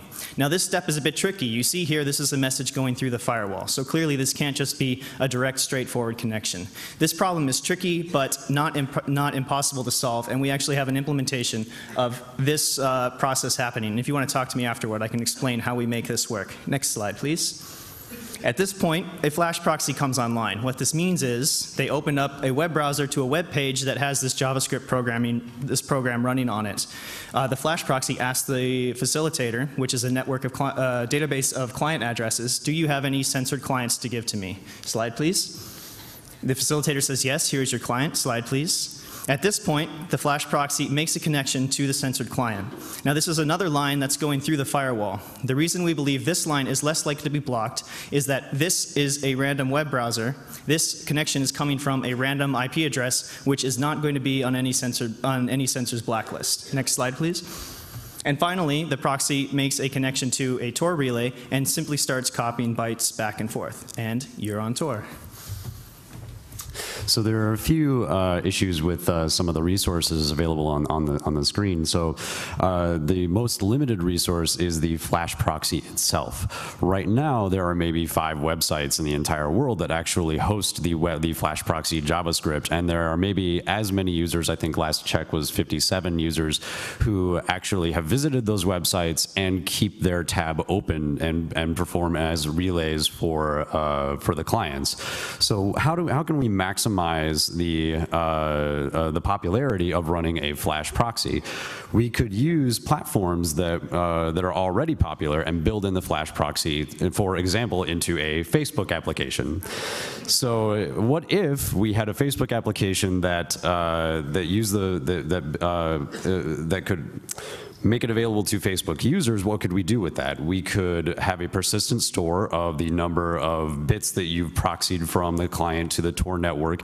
You could rank and rate users against each other and make it a social experience for better or worse. But I think that the, the social intervention here is uh, using, exploiting the most privacy invasive network on the face of the planet to provide uh, privacy and anonymity to, uh, to people who actually need it.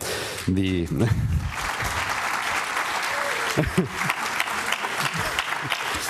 So, there, uh, so not only does it make the experience social, but it can also be an activist platform, uh, providing a you know uh, we could push out news events and, and updates about uh, the state of privacy in the world to people who are actively giving up their privacy on Facebook every single day. Um, so uh, this is a project that uh, that we, are looking to start right now. Both David and I need volunteers for the Facebook application and for Flash Proxy proper. Um, so if you are a Facebook developer uh, JavaScript 30 developer. seconds. Uh, we would both love to, to talk to you. So um, yeah, very excited and thank you very much. You bet. Slide. The slide. Be excellent to one another.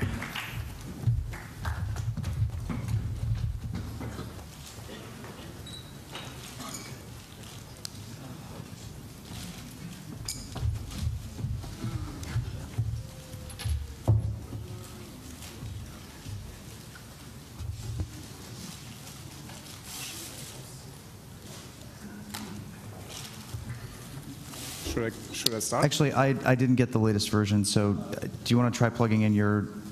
Um, do you have, you don't have the latest version? I, yeah. I summon you.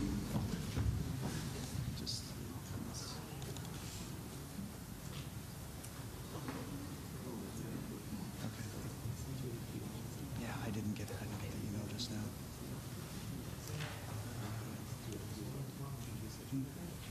Huh? No, I, I told you that.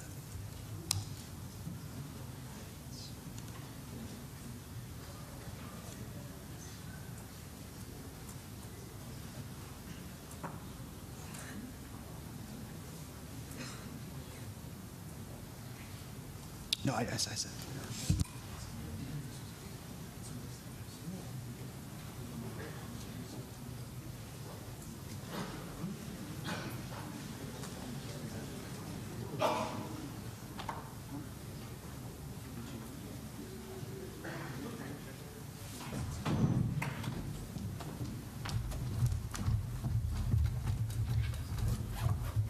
It's just right here.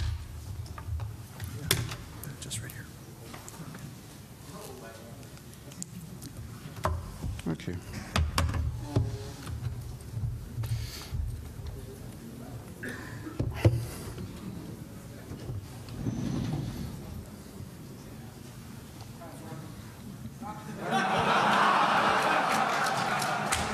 Everyone now knows my number.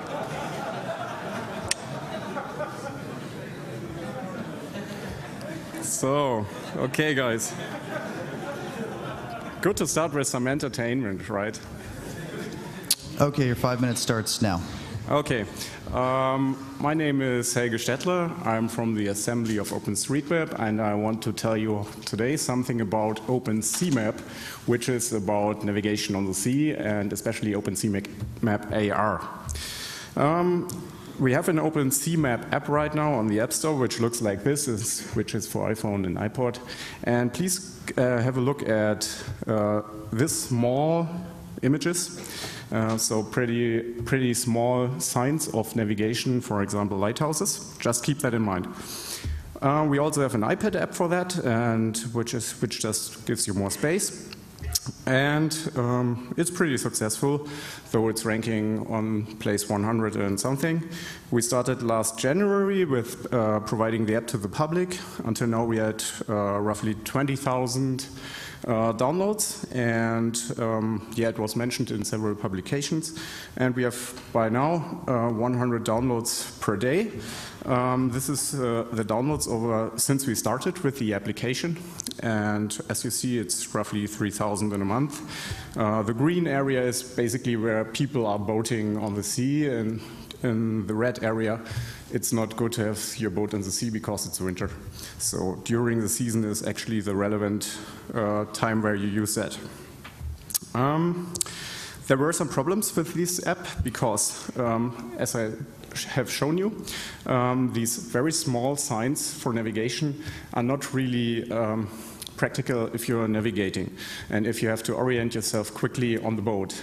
You have uh, different lighting conditions and everything goes like this and uh, it's difficult to see them and recognize them.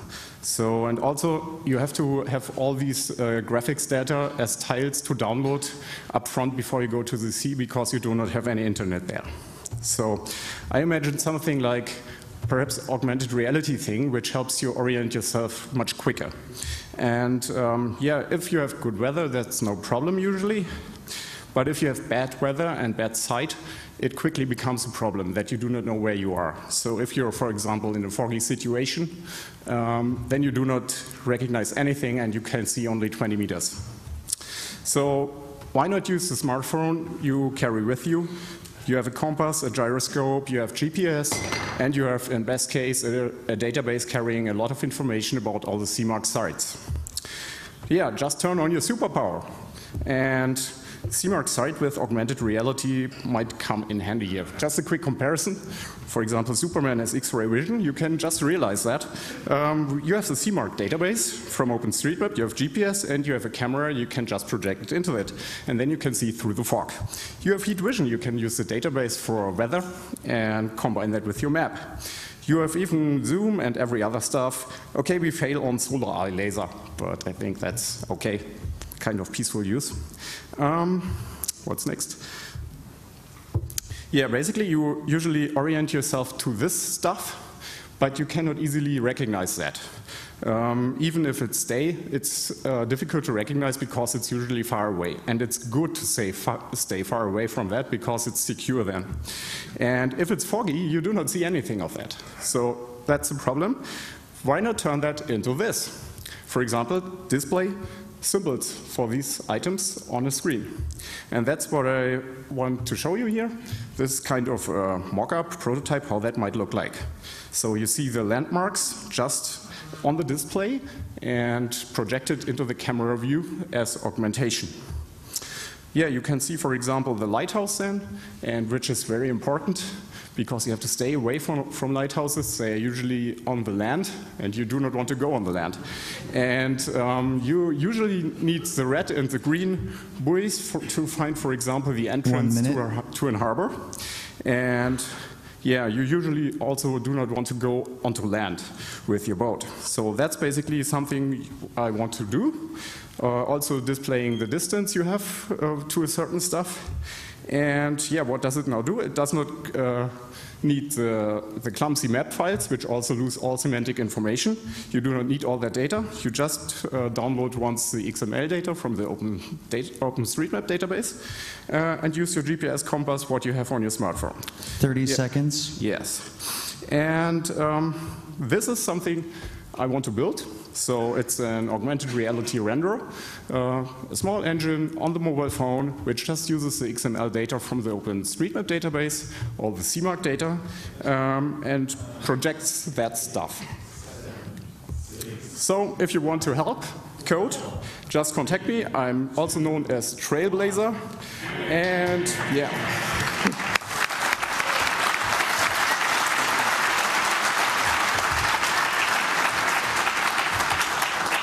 and I will change my number code now. Um, okay, we have a.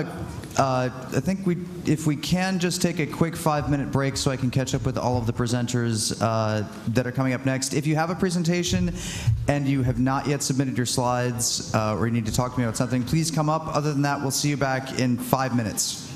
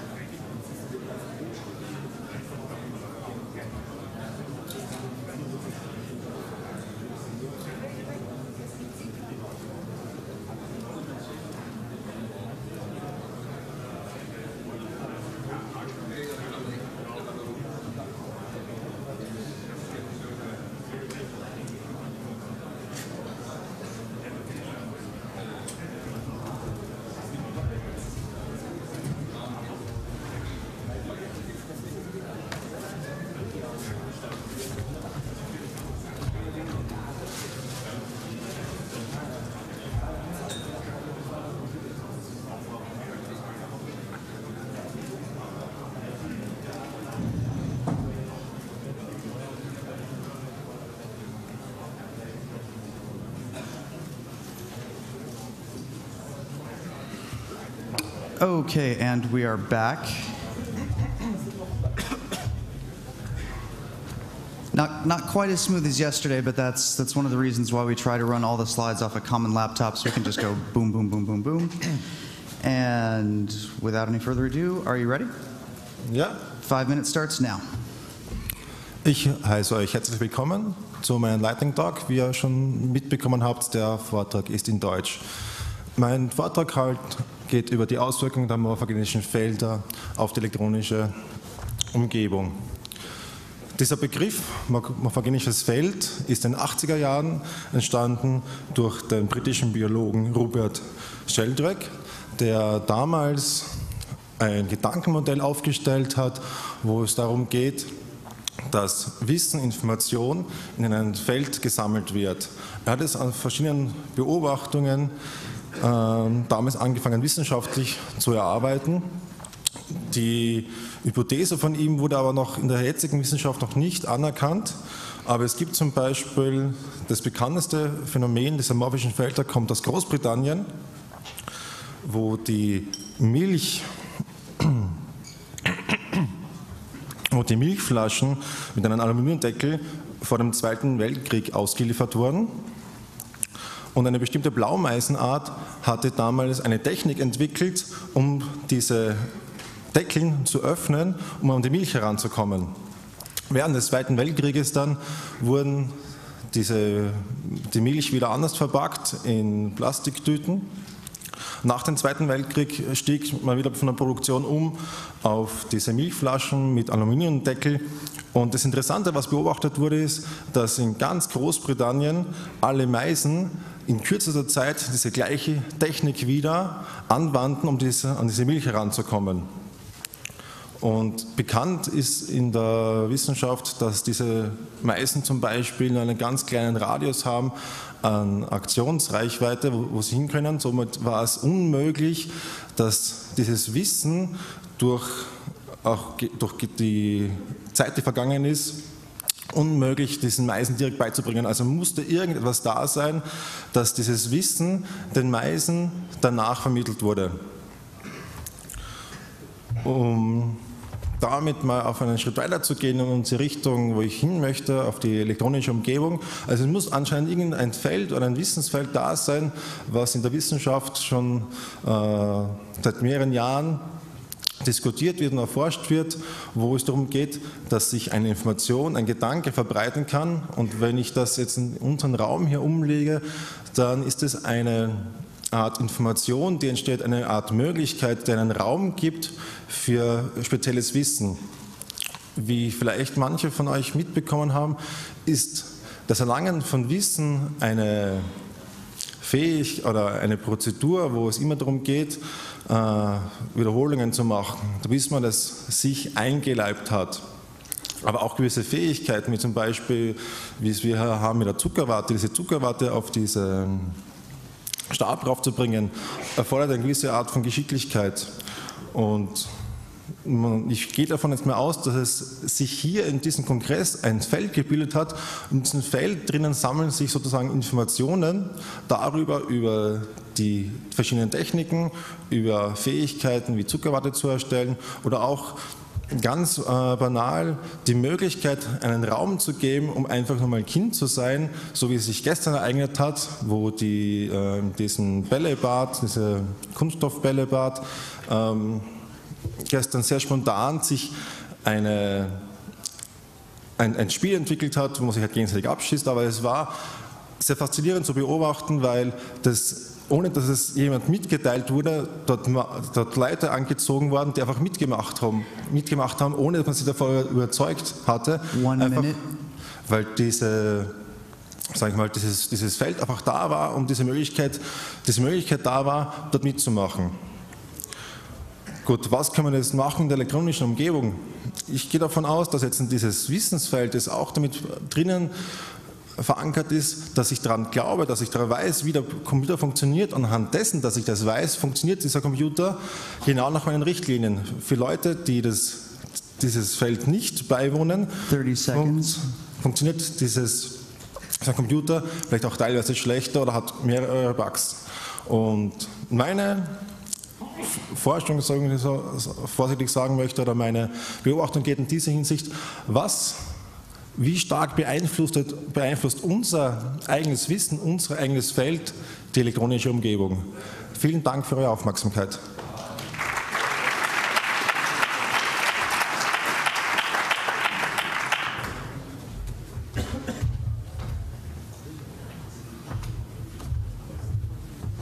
Hello. My name is Niels Lohmann, and I work at uh, the University of Rostock, and there we do research on compilers. And in my free time, I got a bit obsessed about languages, and I wanted to talk about a project I did in the last years. Slide. So when you look at computer languages, you can very easily can be obsessed about how the style of the program is. So when you look on the, on the left, you see that it's a very redundant piece of code that could be replaced by a simple free call. And um, when you're very nerdy about it, you could start arguing where the braces should go. Should the braces of an if be in the same line, or should there be a new line? And if you look at the right, you can have the same arguments, and there the code is not even redundant, it's also wrong. So it passes the compiler, but then it breaks at runtime. And that is something where at computer science we have some tools to have some limited ideas how to detect these bugs and how to fix these bugs. Slide. On the other hand, we have the English language, which is used in computer sciences uh, for everything we write down. And as a non native speaker, you start using your English skills from school and you start writing down research papers. And you fail miserably because you try to sound very smart and you use a lot of words. But these a lot of words don't make you feel uh, make uh, make it smart. It just makes it embarrassing. And then you have some words or some things you think that is a sentence, and in the end you can replace it by a single word. Um, you try to have a lot of, um, you have some informal languages, and this is all nothing you want to see in a research paper uh, slide. So when you write down your papers and you give it to your, your um, supervisor, you get it back, and the whole margin is written down with corrections. And what you actually want to have, you want to have some warnings like in a, uh, like in a compiler, which just tells you, well, in, in line six you used uh, a, a stupid word, you should replace it by another word that doesn't make it look too stupid. Slide. And we have an app for that. This app is called Nitpicker. Uh, you can use it online. You uh, enter uh, some, some text you wrote, you press a button, and in best case, it detects some, some stupid errors that pass the style, uh, the, the, the um, the type checker, but it's still semantically not, not correct. So you have some drop downs and you can, can replace um, stupid words by more clever words. Slide.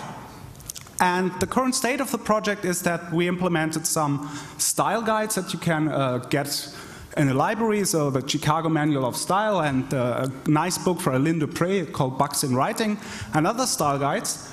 And it finds some current errors or style style errors that you don't want to have in your text and some wrong prepositions.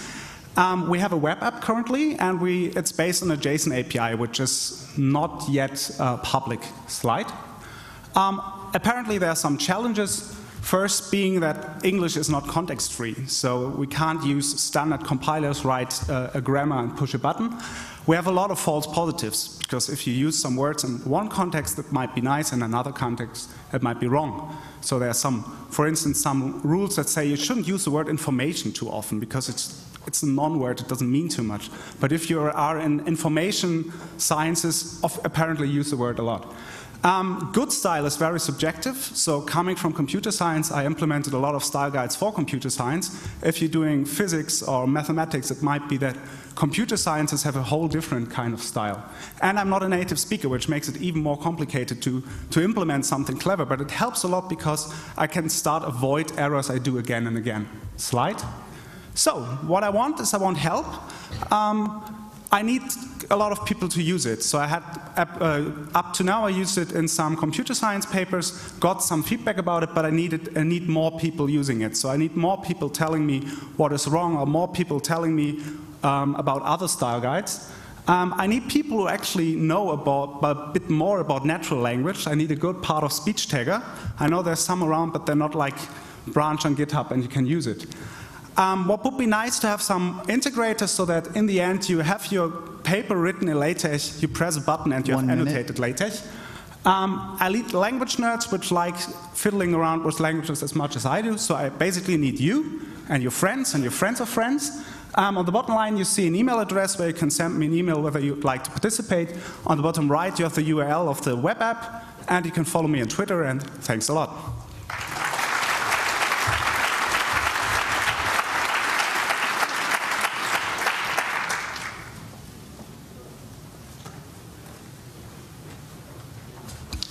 And one quick reminder, and if you could also uh, tell your friends, this applies throughout the conference. Um, on the Fahrplan, uh, where the schedule for the main lectures are, there's always a link there to leave feedback.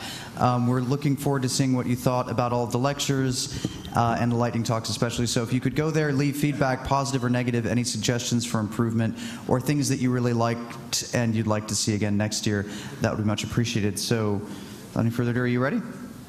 Your five minutes starts now. Hi, uh, next slide, please. I'm uh, Mario Manne from CCC Cologne. I'm organizing the second, and I was involved on the 29C3 uh, content team. And I'm talking about the conference management system frab, which is kind of a um, successor to Pentabarf, which was used um, this year for the conference. Um, uh, can you advance the slides like every 20 seconds? Because uh, they are really small. So it's a web-based conference planning system which you can use to manage the conference and create a schedule, uh, get uh, feedback from uh, visitors and stuff like that. It was created by the organizers of the FrOSCon and uh, originally by David Rötzel. So um, it's uh, actually uh, a successor to Pentabarf, which was used uh, in the CCC Congress by the DebConf and others. And uh, basically, um, it's uh, a, a, rewrite, a complete rewrite, uh, which tries to stay compatible in the important parts. FREP is a logical successor. We have a, migration path, and uh, Pentabarf isn't maintained anymore. The last commit is like three years ago, and uh, a lot of people have the problem how to upgrade their uh, Pentabarf installation. So frab is basically Rails. It's standard Rails. It's Rails with a few gems like CanCan for abilities, Haml, and Twitter Bootstrap for the front-end code. So it's easy to adapt and easy to understand. So uh, we feature multi-conference support and we have uh, role-based access controls for submitters, speakers, organizers. We integrate uh, ticket systems for the communication, RT and OTS at the moment. And we've got a JSON uh, export uh, if you want to program against the schedule and uh, we're Pentabarf compatible. We have uh, the same uh, XML format. If you had any scripts before um, that depended on that, they should work. And uh, we are maintainable, maintainable. We've got tests and database migrations, and we should support the three uh, databases. Yeah, uh, conferences actually using frab are, of course, the FrOSCon for two years, the SIGINT conference in Cologne, and uh, several um, other conferences like the MMCD and uh, the upcoming Hackover conference, for example. So uh, how do you go about making a conference? Because um, that's actually really simple. Um, you have to uh, create the conference in the software and uh, fill out all the values like the title of the conference, the acronym of the conference, and give it a subtitle. And then you have to add conference days to the conference. So I um, spent a lot of time to make this work with actual time frames. So um, you can uh, have conference skip um, midnight, for example, because midnight is zero 0 and 0 is smaller than 23, which is kind of a problem for other softwares. And um, afterwards, you go into the call for participation phase where um, speakers submit their talks. Um, there's a special interface for that. Here's the login page on screen, and the speaker adds his talk and uh, description and stuff like that. So uh, here, this is availability screen. Speakers are not there all the time. Some might uh, want to come by only for a few hours, so they can use these nifty slider controls to set up their availabilities. This is again real time, so uh, no uh, problems are to be expected there. And uh, afterwards, you go uh, and have the talks reviewed. And the reviewing process is here an example image of an example review, so you can just give some stars at a comment to the talk, and afterwards you can look at the talks and decide uh, by the reviews if uh, the community thinks that's a good talk. So we have a review role, which is only allowed to review talks and not to uh, accept or um, reject the talk. So um, afterwards, uh, you have to go and uh, fill out all the details. You have to ask the speakers for more information and inform them of uh, acceptance or rejectance of their talks. And um, this is done by coordinators and they manage uh, the uh, individual speakers. Of course, there's conferences uh, which only have one or two people organizing the content, and it's obviously it's easier. So this is a person page. A person page. It's um, just an example from software. You can see the other conferences. Uh, if the speaker is already known, you can decide by this information if you uh, want to have them again. And then you can plan your actual schedule for your conference. You can drag and drop um, these events and put them there. And uh, afterwards, uh, you can publish the schedule. And um, here is the conflict management. So if uh, if the speaker isn't there, there would be a conflict here, which you could resolve later. yeah, then you can look at some statistics about your conference and uh, basically go about and uh, actually do the conference. Um, we have um, a static uh, schedule export, just like uh, Pentabarf has, so people um, can uh, download static pages, which is important for the performance of the whole thing. Yeah. So in the future, we want to have a plugin system. We have plans on video integration. We want a better review system, like top 10 lists or something. And we definitely want subconference support to give more people the opportunity to uh, actually uh, work on content. Yeah, if you want to contact us and uh, then just uh, via the mailing list or contact me in Jabber uh, and just fork the project on GitHub, start developing and give us a pull request. Thanks.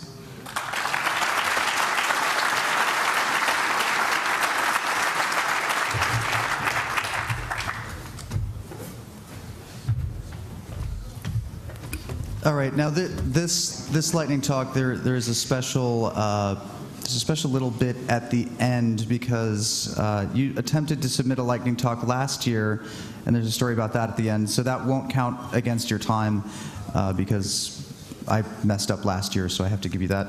But without any further ado, you ready to start your main presentation? Yeah. Go. All right. Um, I, I talk is about uh, a system we have in uh, Hackerspace Labitat um, which is for tracking all the inventory that you have in space, all the tools and uh, other equipment that you have. Uh, some of that is uh, led to us by members. Slide. So, for example, this is a print uh, milling machine that we have, um, which has a label done in the, in front of it. Slide. Which you see here that it has a QR code and an ID, and then has a, problem, uh, a couple of tags like the do not hack, uh, and then has uh, the sign in the middle that uh, means that you need to read the manual first. Yeah, next. So this is the page for creating new tags, where it in real time generates the PNG in the browser, and then when you save it, it regenerates it with the right ID, and it uploads it uh, to the to the backend of it and uh, prints it on the printer. Next. Uh, and also has full text search support. Um, this is implemented using Postgres. And next. So the, the QR uh, code is, uh, in includes a URL to uh, a redirection service that we have at Labitat, uh, which then redirects to our wiki, where we have a template for LabTrack entries. And the, the other tag that is uh, that's possible to have on the labels um, that is a personal property of a member. Um, and next slide. Um, so uh, the backend is written in something called Lua Event Machine that uh, is written by Emil that is sitting over there in the corner. It's basically uh, um, um, it's sort of like Node.js with uh, having, but apart from that, it has uh, it uses so coroutines to make uh, asynchronous coding uh, just like it was synchronous, so that it, it uh, pauses the coroutine um, whenever it would block, um, and then has the print queue and so on. And it's pretty basic. Um, so this is the printer on top of our fridge in the space. Um, and if you take the next slide. So usually this printer only has a 32-bit driver by a brother, um, so it doesn't really work on 64-bit uh, server. So we take next slide. So we reverse engineered it from the USB communication and wrote a new uh, driver in C, which reads the PNG and writes directly to the character device created by Linux uh, kernel USB driver for printers. And uh, currently, LabTrack uh, Lab is um, deployed in uh, our own space and in the Room. Uh, and uh, next up will probably be Knightsbridge. And I've heard that our member in uh, the Francisco area have around six or seven other spaces lined up. Yeah, next slide. So the roadmap for this is to get some versioning control because right now everyone can go in and uh, just modify a label so it, and with no way to revert it other than the database backup um, and improving the search so that you can search for subwords and not just the full uh, text search support by Postgres. Um, and then uh, Yule is also working on uh, implementing a distributed search uh, across hackerspaces. Um, and we also would like to have some gallery with different stickers and, uh, stuff that you might want to print out regularly. Um, yeah, so the sources are these URLs. And I'll recommend you to check out the Lua event machine. Um, and yeah, that's basically it.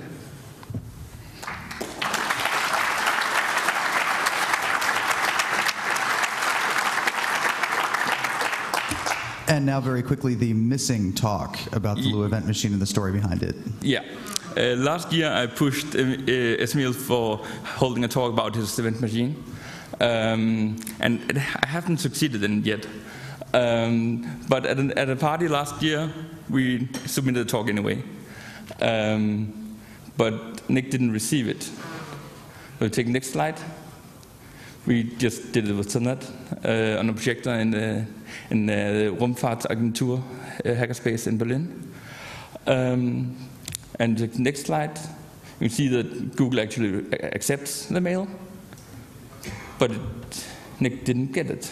So the next one, yeah, we also thought Nick should have that information. So uh, maybe there'll be a talk about Lua Machine at some point in time. I don't know. But yes, I searched my mail extensively for this and occasionally ping back and try to find it. But nope, this, this talk somehow got accepted by Google, but never made it to me, unfortunately. So perhaps sometime in two years it'll magically appear out of the ether. But quick round of applause just for the missing.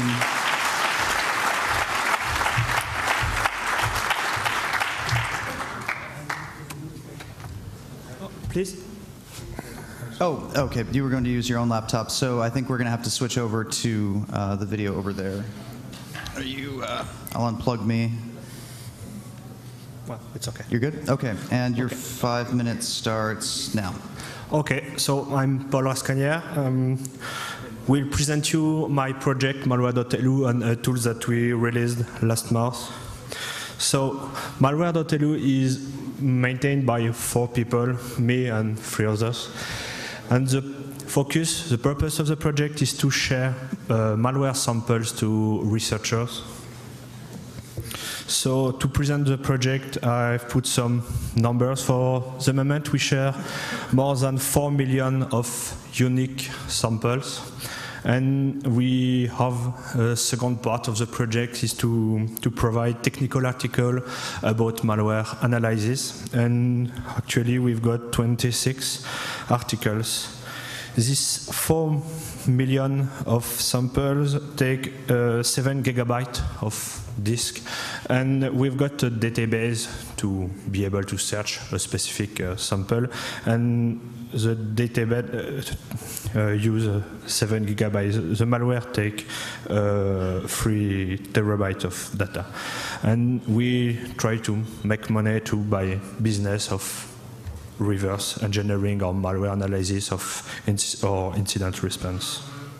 So to have an account on malware.lu, we don't provide a classic form with uh, you put your username, etc., etc. To have an account, you have to write an email to us and explain why you want an account, and after that, we create the account. For the moment, we've got more than 1,000 of users, so we are not really strict so you're able to make to search a specific sample with the hash of malware, but with the name too. In fact, we use the name provided by uh, antivirus. So if you would like, for example, sample link to Stuxnet, you can simply enter Stuxnet in the second form, and you've got all sample in a relationship with Stuxnet. Once you find the specific sample you would like to download, you've got some information as the name of it uh, by antivirus.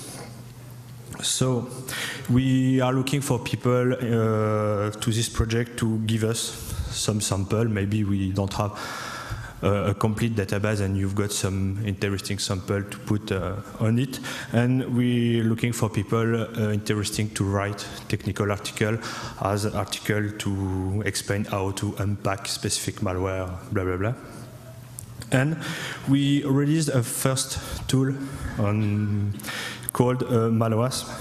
You can download it, uh, it's open source, you can download it on Google Code.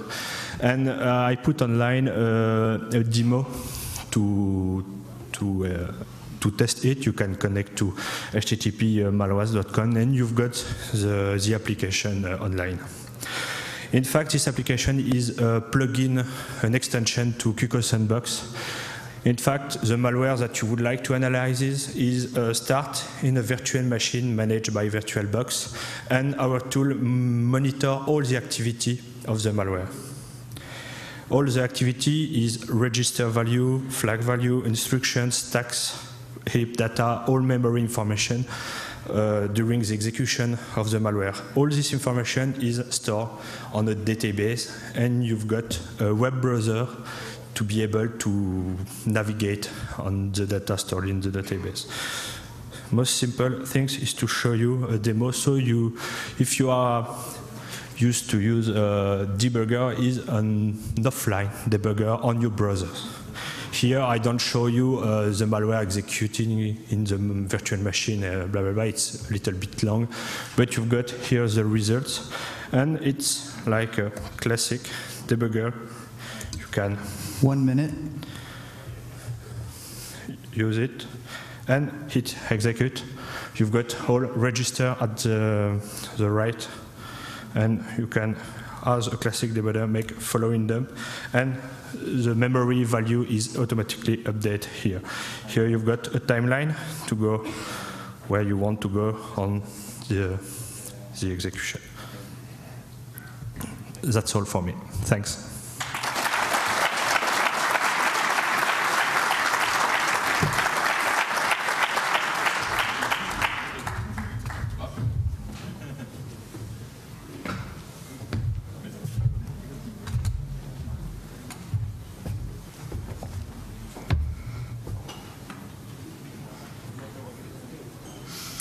Hello, everybody. Um, my name is Harold, and I would like to uh, tell you a little bit about a project of bringing the technology and humanities to, uh, together. That's a cool uh, project that we are trying in Braunschweig, Germany and I would like to tell you a little bit about it. First of all, what is entrepreneurship uh, at all? An entrepreneur is a person who is setting up a business, a so-called uh, startup. But I believe uh, that sounds a little bit like it's all about making money, but I believe an entrepreneur is not uh, someone, entrepreneurship is not about making money. Entrepreneurship is actually about great ideas. Next slide, please. Um, it's about it's not about making money it's about great ideas. It's about better ideas than previous ones. It's about making something really genuinely new. And that's also what hacking is about. And I believe the creativity that uh, that we are all doing as hackers um, and the creativity of our entrepreneurs is not much different to to innovation in the industry and um, let's so let's take a look of the to uh, let's take a look at Wikipedia at the definition of what um, um, hacking is. That says the hacking, the act of engaging in activities is in a spirit of playfulness and exploration is termed hacking. Hacking entails some form of excellence, for example, exploring the limits of what is possible. And hacking, as we've seen in many examples before, is um, often taking things apart in order to, order to understand it and put it together in an originally unattended uh, uh, manner. We also see that in art sometimes. In 1947, um, uh, Picasso took apart um, a bicycle sa saddle and a handlebar and put it into a new context and formed this uh, bull's head. And that's creativity, and we could use that creative thinking also in order to solve problems in the industry. One example is the uh, cell phone industry. Not uh, long ago, uh, about six years ago, the uh, mobile phone industry um, um, had two problems uh, that came from uh, its megatrends. One megatrend was miniaturization, that is, everything becomes smaller. The other one was convergence, that means more and more functions get into a, even a smaller and smaller device. And that causes, of course, um, a problem in the interface. And that was solved, of course, not by uh, Nokia, who had great engineers and great managers, but by, by a, a, um, a company that had creative think, thinkers as, at its core. And that was, of course, um, slow down, please, with the, with the fire. Um, um, that was, of course, Apple because they, they solved that problem of the industry by applying a, a touchscreen interface with a software keyboard um, that is only visible uh, when it's useful. So, um, and Steve Jobs, now we come to the quote on the next slide, said, Part of what made the Macintosh great was that the people working on it were musicians and poets and artists and zoologists and historians who also happened to be the best computer scientists in the world. And, and, we can solve such problems only, he said, next slide, if we are at the intersection of technology and liberal arts or humanities, if you like. And that's uh, a great chance for a, a university. And um, that's what we are trying to establish in Braunschweig, because next slide, we have two universities there an, an artistic university, that's the Braunschweig University of Arts, and the Technical University. At the University of Arts, we offer degrees in the fine arts in industrial design, visual design, and media studies. The Techno University of Technology offers degrees in econom economics, life science, engineering, and computer science as well. And what we're trying to do is bring those two worlds together in, in order to to, to uh, foster creati creative thinking and, and, and real creativity that is not only 10% better, but 10 times better. Um, that is next slide uh, that we do joint efforts. We do lightning talks like this one at first in order to understand each other's thinking, each other's ideas, each other's projects. We, we are making network events to bring those people together. We establish joint projects and host them in so-called co-working spaces. And we offer them advice and funding for those entrepreneurs. If you, um, that, this is a great and, and inspiring project. And if you want to know more about our project, next slide, this, this slide, please. Um, and, uh, or if you know other similar projects that we can learn from, please get in contact with me um, as soon as possible. Thanks very much.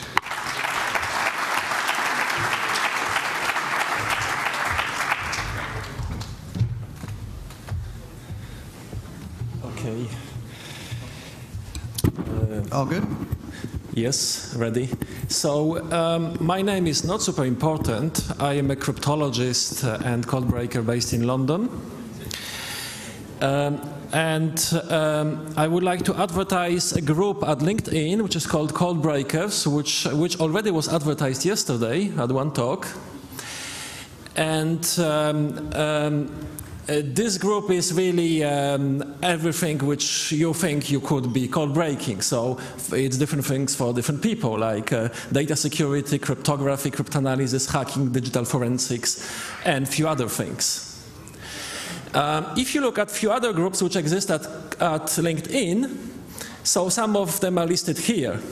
So it's quite interesting because I think you should maybe take some time to compare uh, people who are in these groups. So in some of these groups, you find amazing people, amazing specialists, which have very high H index. You can find with Google Scholar. They have a lot of publications. They are major universities.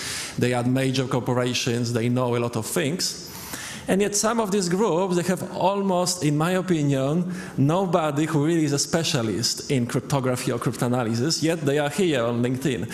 So I think we need to um, um, thank LinkedIn for uh, introducing quite recently a system for, um, you know, certifying the expertise of other people, uh, which is a very helpful uh, tool they have recently introduced uh, because otherwise maybe uh, you might end up being a member of the wrong group. So I leave you as an exercise to see which one of these groups is a strikingly strange uh, group. Uh, it's, it's here on this picture. Um, so um, another thing which we want to promote in this group is solidarity. So uh, we promote solidarity between code breakers from all walks of life, okay? So now maybe you think there is no need for solidarity of code breakers. Okay, so uh, I will speak from experience. So um, maybe you think that um, there is no censorship in today's research. Uh, maybe you think that major universities promote independent scientific research while in fact they promote corruption and nepotism. Um, maybe you think that uh, journalists would by default write the truth and the lies are easy to dismiss. Maybe you think that the market will determine a fair price for your work and nobody would steal it. Uh, maybe you think that people who are visibly your friends, you are still your friends when they are under the cover of uh, anonymity in a program committee. Um, maybe um, you think that uh, research should be free ideas, source code, uh, should be free and available on open platforms, and um, all the large corporate profits were earned by hard work, and yet there is no relation between the two facts. Um, maybe you think that banks will need to prove that what they say is true in a court of law. Well, actually, they will not have to, to prove that it's true. Uh, maybe you think that Alan Turing obviously did eat cyanide and another British uh, mathematician's prodigy actually did close himself in a plastic bag to commit suicide. So in that case, maybe you believe that code breaker solidarity is not important. Okay, next slide, please. Yeah, uh, this was the next slide. Um, so just one more remark about the group. Uh, it is a, um, a, closed group, so we check uh, requests to join. So the minimum kind of uh, level of expertise we, re require is a sort of Master of Science thesis in security relevant topics uh, level or equivalent professional experience. Um, uh, and so, so we just don't admit anybody, and the group is not open, so what is posted in the group is only visible to members. Thank you very much, and please join.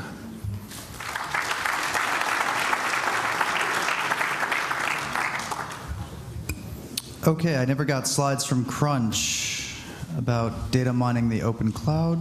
Okay. Uh, web out of browsers. Theo, are you Okay, great, awesome.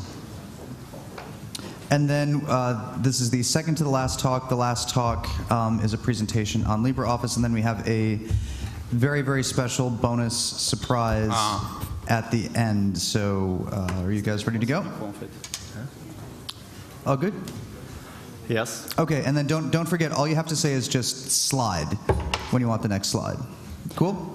Hi, I'm Phlogistic. This is Theo, and this is Alf, and we're building a community and application collection for accessing data from websites, and that's called Weboob. Slide.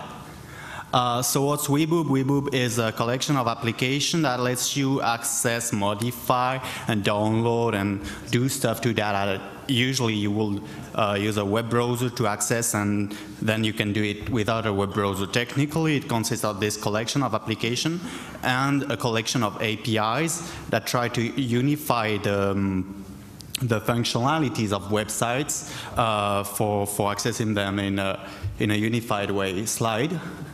Uh, so this is an example of how it works. We got uh, three applications for watching videos.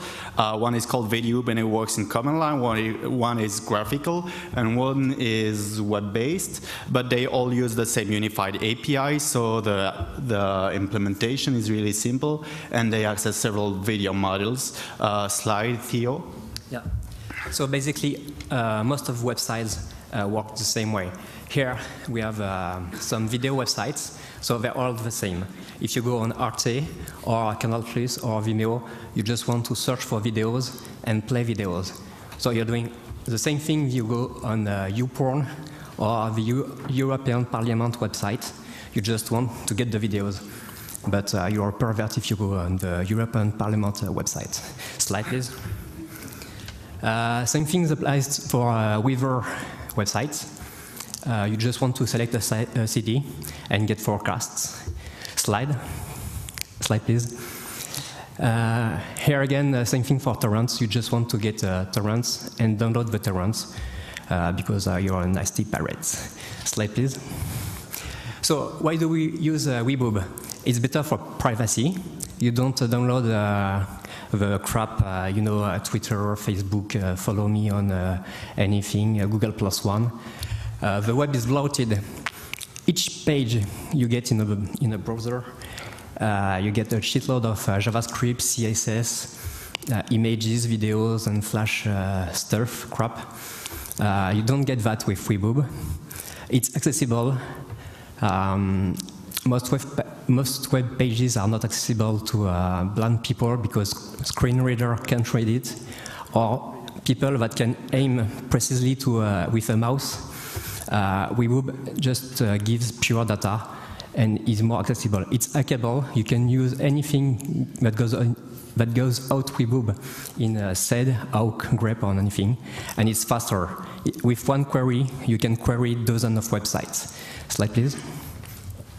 And of course, possibilities of Weboob are the same as the website that we interact with. Uh, we have an application, for example, to find a house, where you can export read paper, um, newspaper in an article in a readable format that uh, text in email or a file for your ebook readers. Uh, and you can optimize your, your um, sexual life with, um, on a dating website. Slide, please short an overview on a particular application very popular in France. We uh, support more than 15 webs uh, bank websites and uh, we can access uh, on your balance, your historic of transaction, your coming operation, as well as make transfer, uh, money transfer. And we have the support of Budget Insight. This is a startup on the make money with a solution based on a Weboob. Slide, please. Und für unser deutsches Publikum haben wir leider nicht so viel zu anbieten, aber wir haben schon ein paar Module.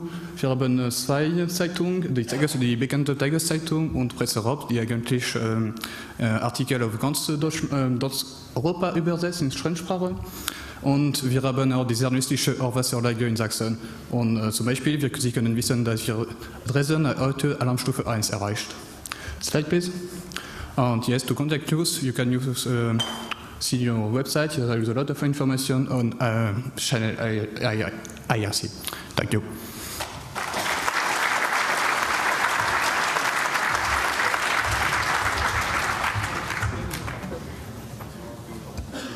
All right, and you're all good. This is, I believe, just one quick question. Did anybody attempt to submit a lightning talk and get absolutely no response over email?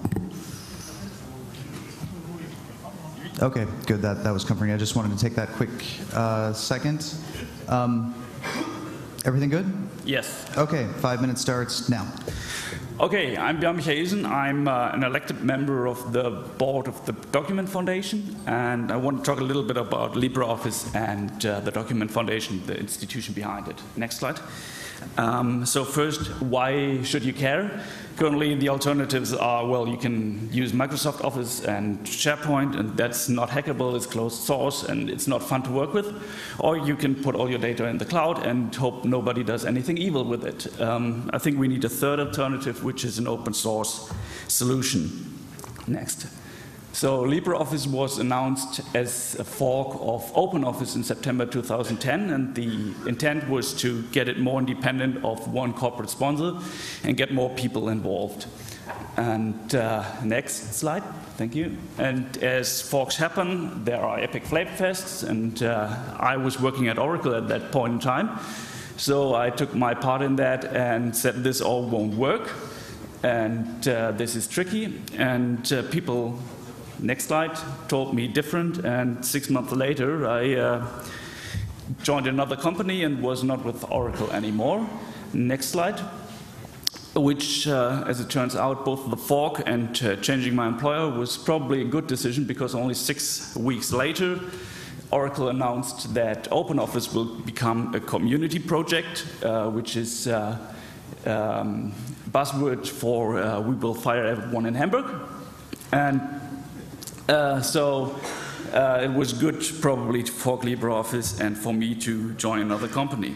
So uh, with the foundation, next slide please. That took a while, probably because we're not only five old farts trying to evade taxes, but actually do something uh, a bit more tricky, which was, next slide, we wanted to uh, protect the foundation against uh, being hijacked by one corporate entity. And uh, to do that, we had the members of the TDF based only on contribution. You can't buy your way in. So you have to contribute to the project to become a member. And from that on, you elect everyone. You elect the guys who uh, allow others to go, become members, and you also elect the board of directors and the, the people who make all the other decisions. Next slide. So um, I could, did we do any work? Well, I could talk about features, but that would take an hour just for the new stuff we did in 2012. So I'll just put up some numbers, and below you see a lot of public entities uh, going with uh, LibreOffice and moving to it. So uh, this is quite good. Next. And our downloads also look good and are getting better and better.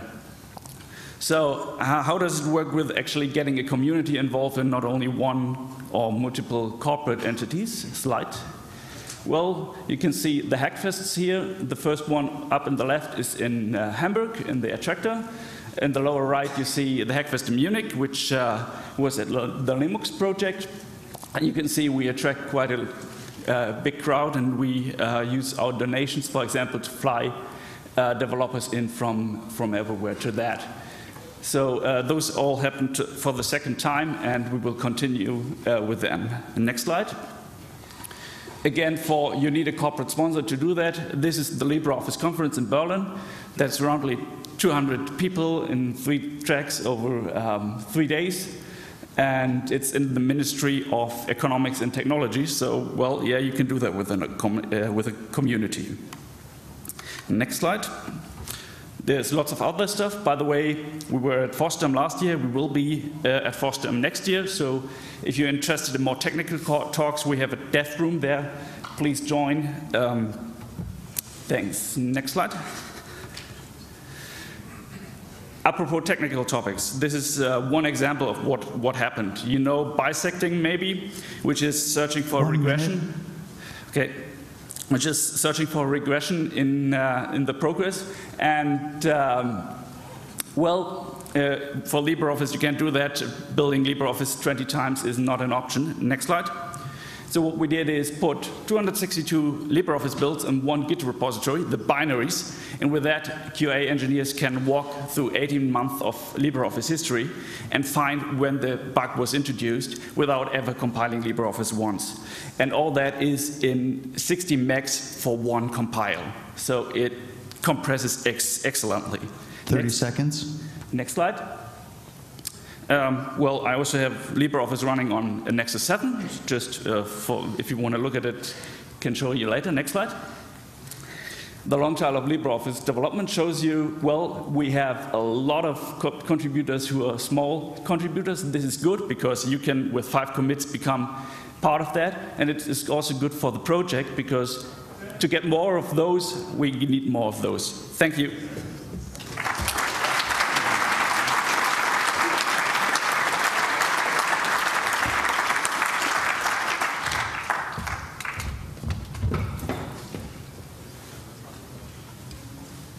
And uh, now the moment that at least three people were waiting for.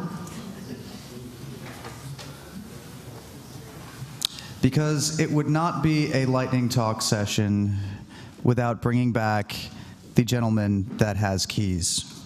I have keys. Yeah. I have keys for all. And um, I offer, offer one key for one giga euro. This is next Next. Uh, for the airport uh, Tempelhof, I buy the airport, the whole airport, because I have keys. Next. And um, uh, I offer one key for 1024. You see it. Next. And this is, uh, I make last year a mistake about a few um, millions, and this is uh, now right. This is one giga euro. I offer one key. You can um, pay and buy this key, and for the other keys for a million, you can only pay a deposit. Next. So then we built a machine, a temple machine, at the Tempelhofer Field, and we rocked their uh, endless celebration. 8,760 hours every year, and sometimes one day longer. Next. So it looks inside. Next. At the Tempelhofer Field. Next there in the middle of Tempelhof next. Next. Yes, we do it. Next. the machine inside. Next. From above and next. So, then we dance a lot and uh, we see us then in the machine at Tempelhof. I hope the next years. Yeah, next. So, if you want to donate, uh, you can do it uh, next year. I have uh, keys then also in steel uh, or copper or silver or in gold. And you can only pay a deposit for this because we need an interest and we made the party then from the interest of the money. Next. So, you will find me or us uh, there and uh, follow for news uh, at Twitter. Next. So, thanks a lot, and then we see us in the machine to the party.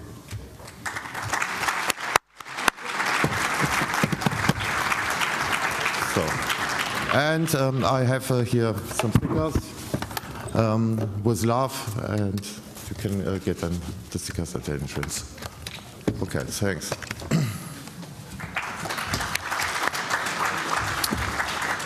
Um, all right, did, I believe that's everybody, and that is the final round of lightning talks. Please stick around uh, if you were interested in taking part in the flash mob um, later on today. How many people have shown up for that?